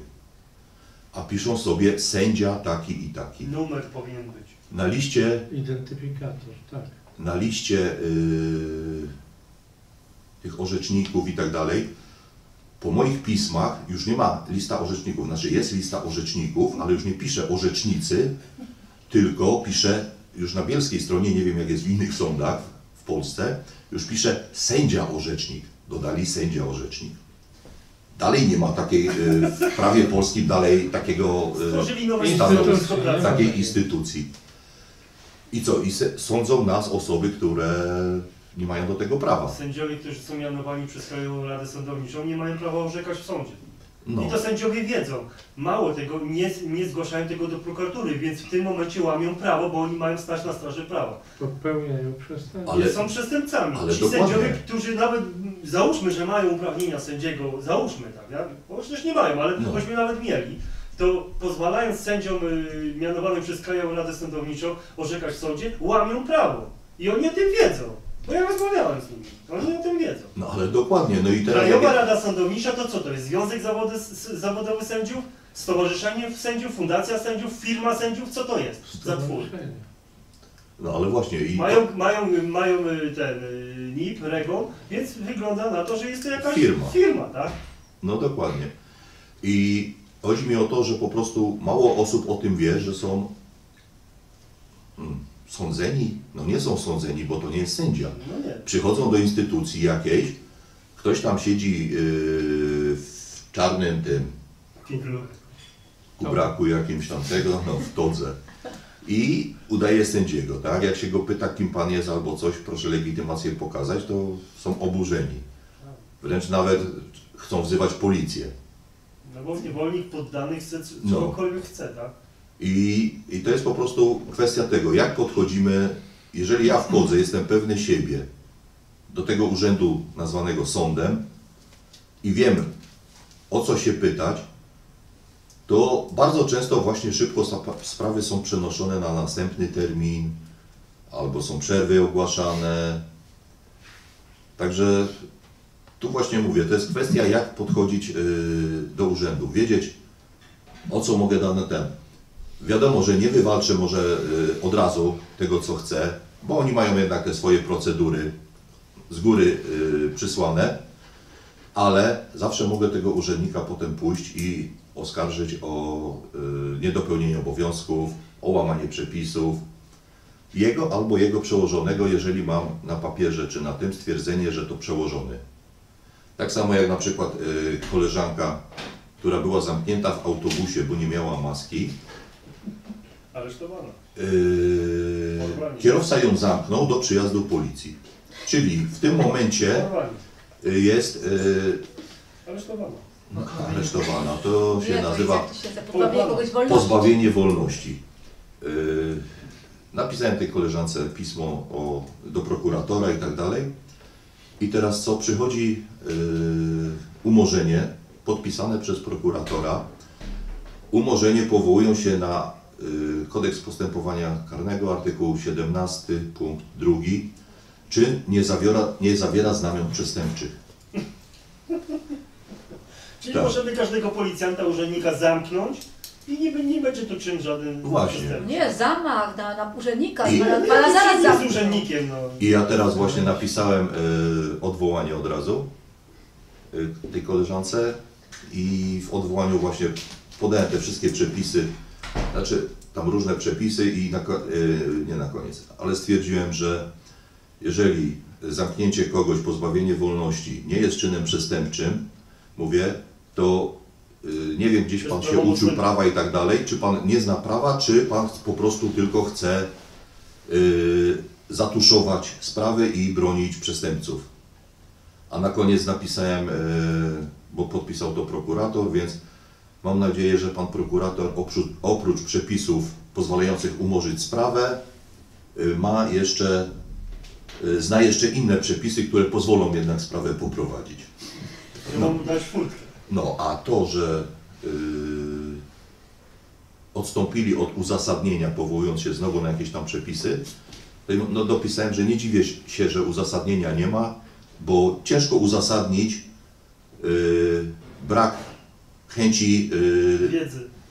brak chęci Wyjaśnienia yy, sprawy. wyjaśnienia sprawy, ukarania przestępców. Ciężko jest uzasadnić po prostu i coś w tym rodzaju im napisałem.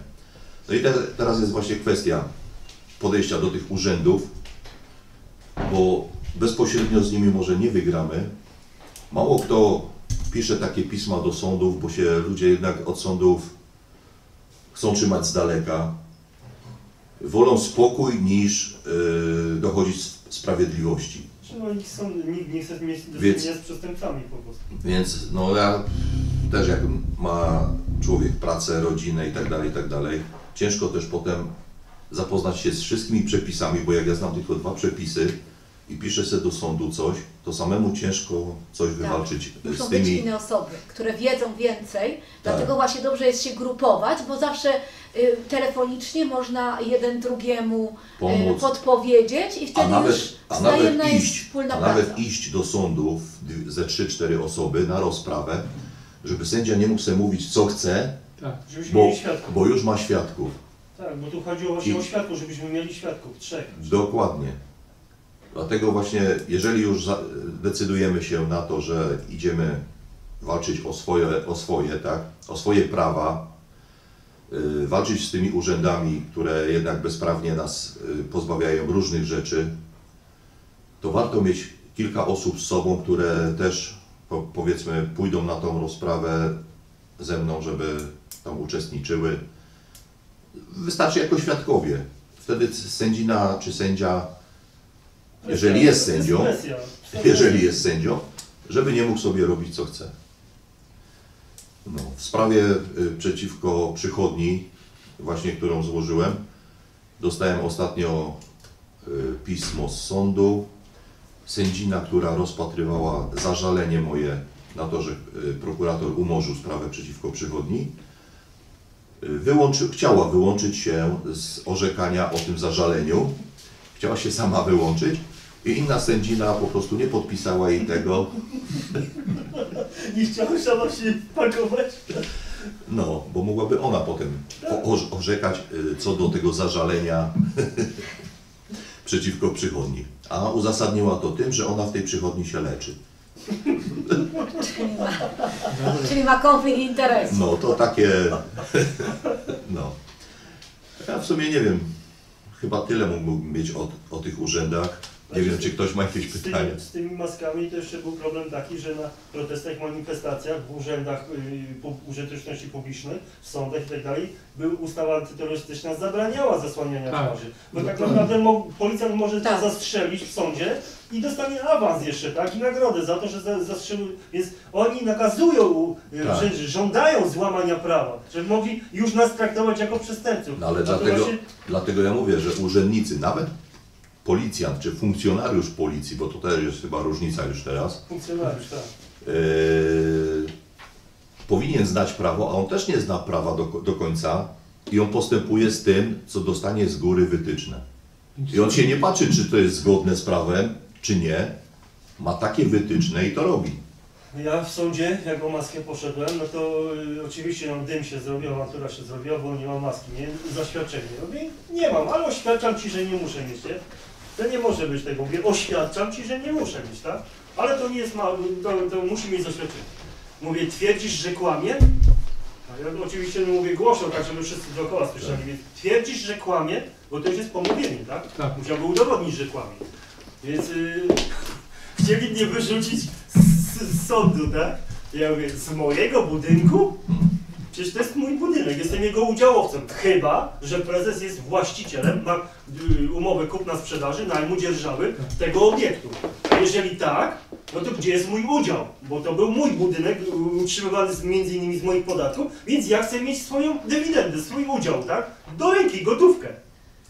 A skoro nie ma takiego, Przepraszam. To wam jeszcze powiem. Może za chwilę będziemy tutaj y, mówić, pan też będzie, ale to Panie Piotrze, czy Pan już skończył, czy coś jeszcze Znaczy, ma ja jeszcze powiem taką jedną sprawę właśnie, bo żeby zastraszyć ludzi, sędzina, która mnie wyrzuciła z sali sądowej e, za to, że nie założyłem maski, e, kazała policji mnie ukarać za to, że nie miałem maski i za to, że nie wykonałem polecenia sędziego.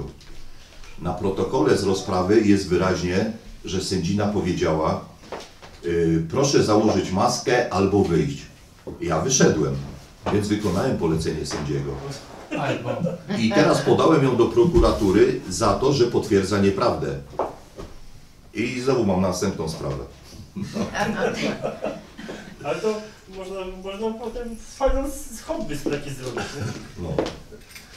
Yy, I tak wam powiem, bo dużo ludzi pyta się mnie, po co ty to robisz? Chce ci się? Bo dużo ludzi właśnie machnęłoby to ręką, ominęło to, żeby mieć trochę spokoju, żeby ten. Ale to na chwilę będą jest. Ale ja mówię tak, jakby mnie zostawili w spokoju, to przecież ja, ja nie jestem waleczny, nie jestem po to, żeby z nimi i nie szukam specjalnie konfliktu. Ja bym też sobie spokojnie żył, jakby oni zostawili mnie w spokoju.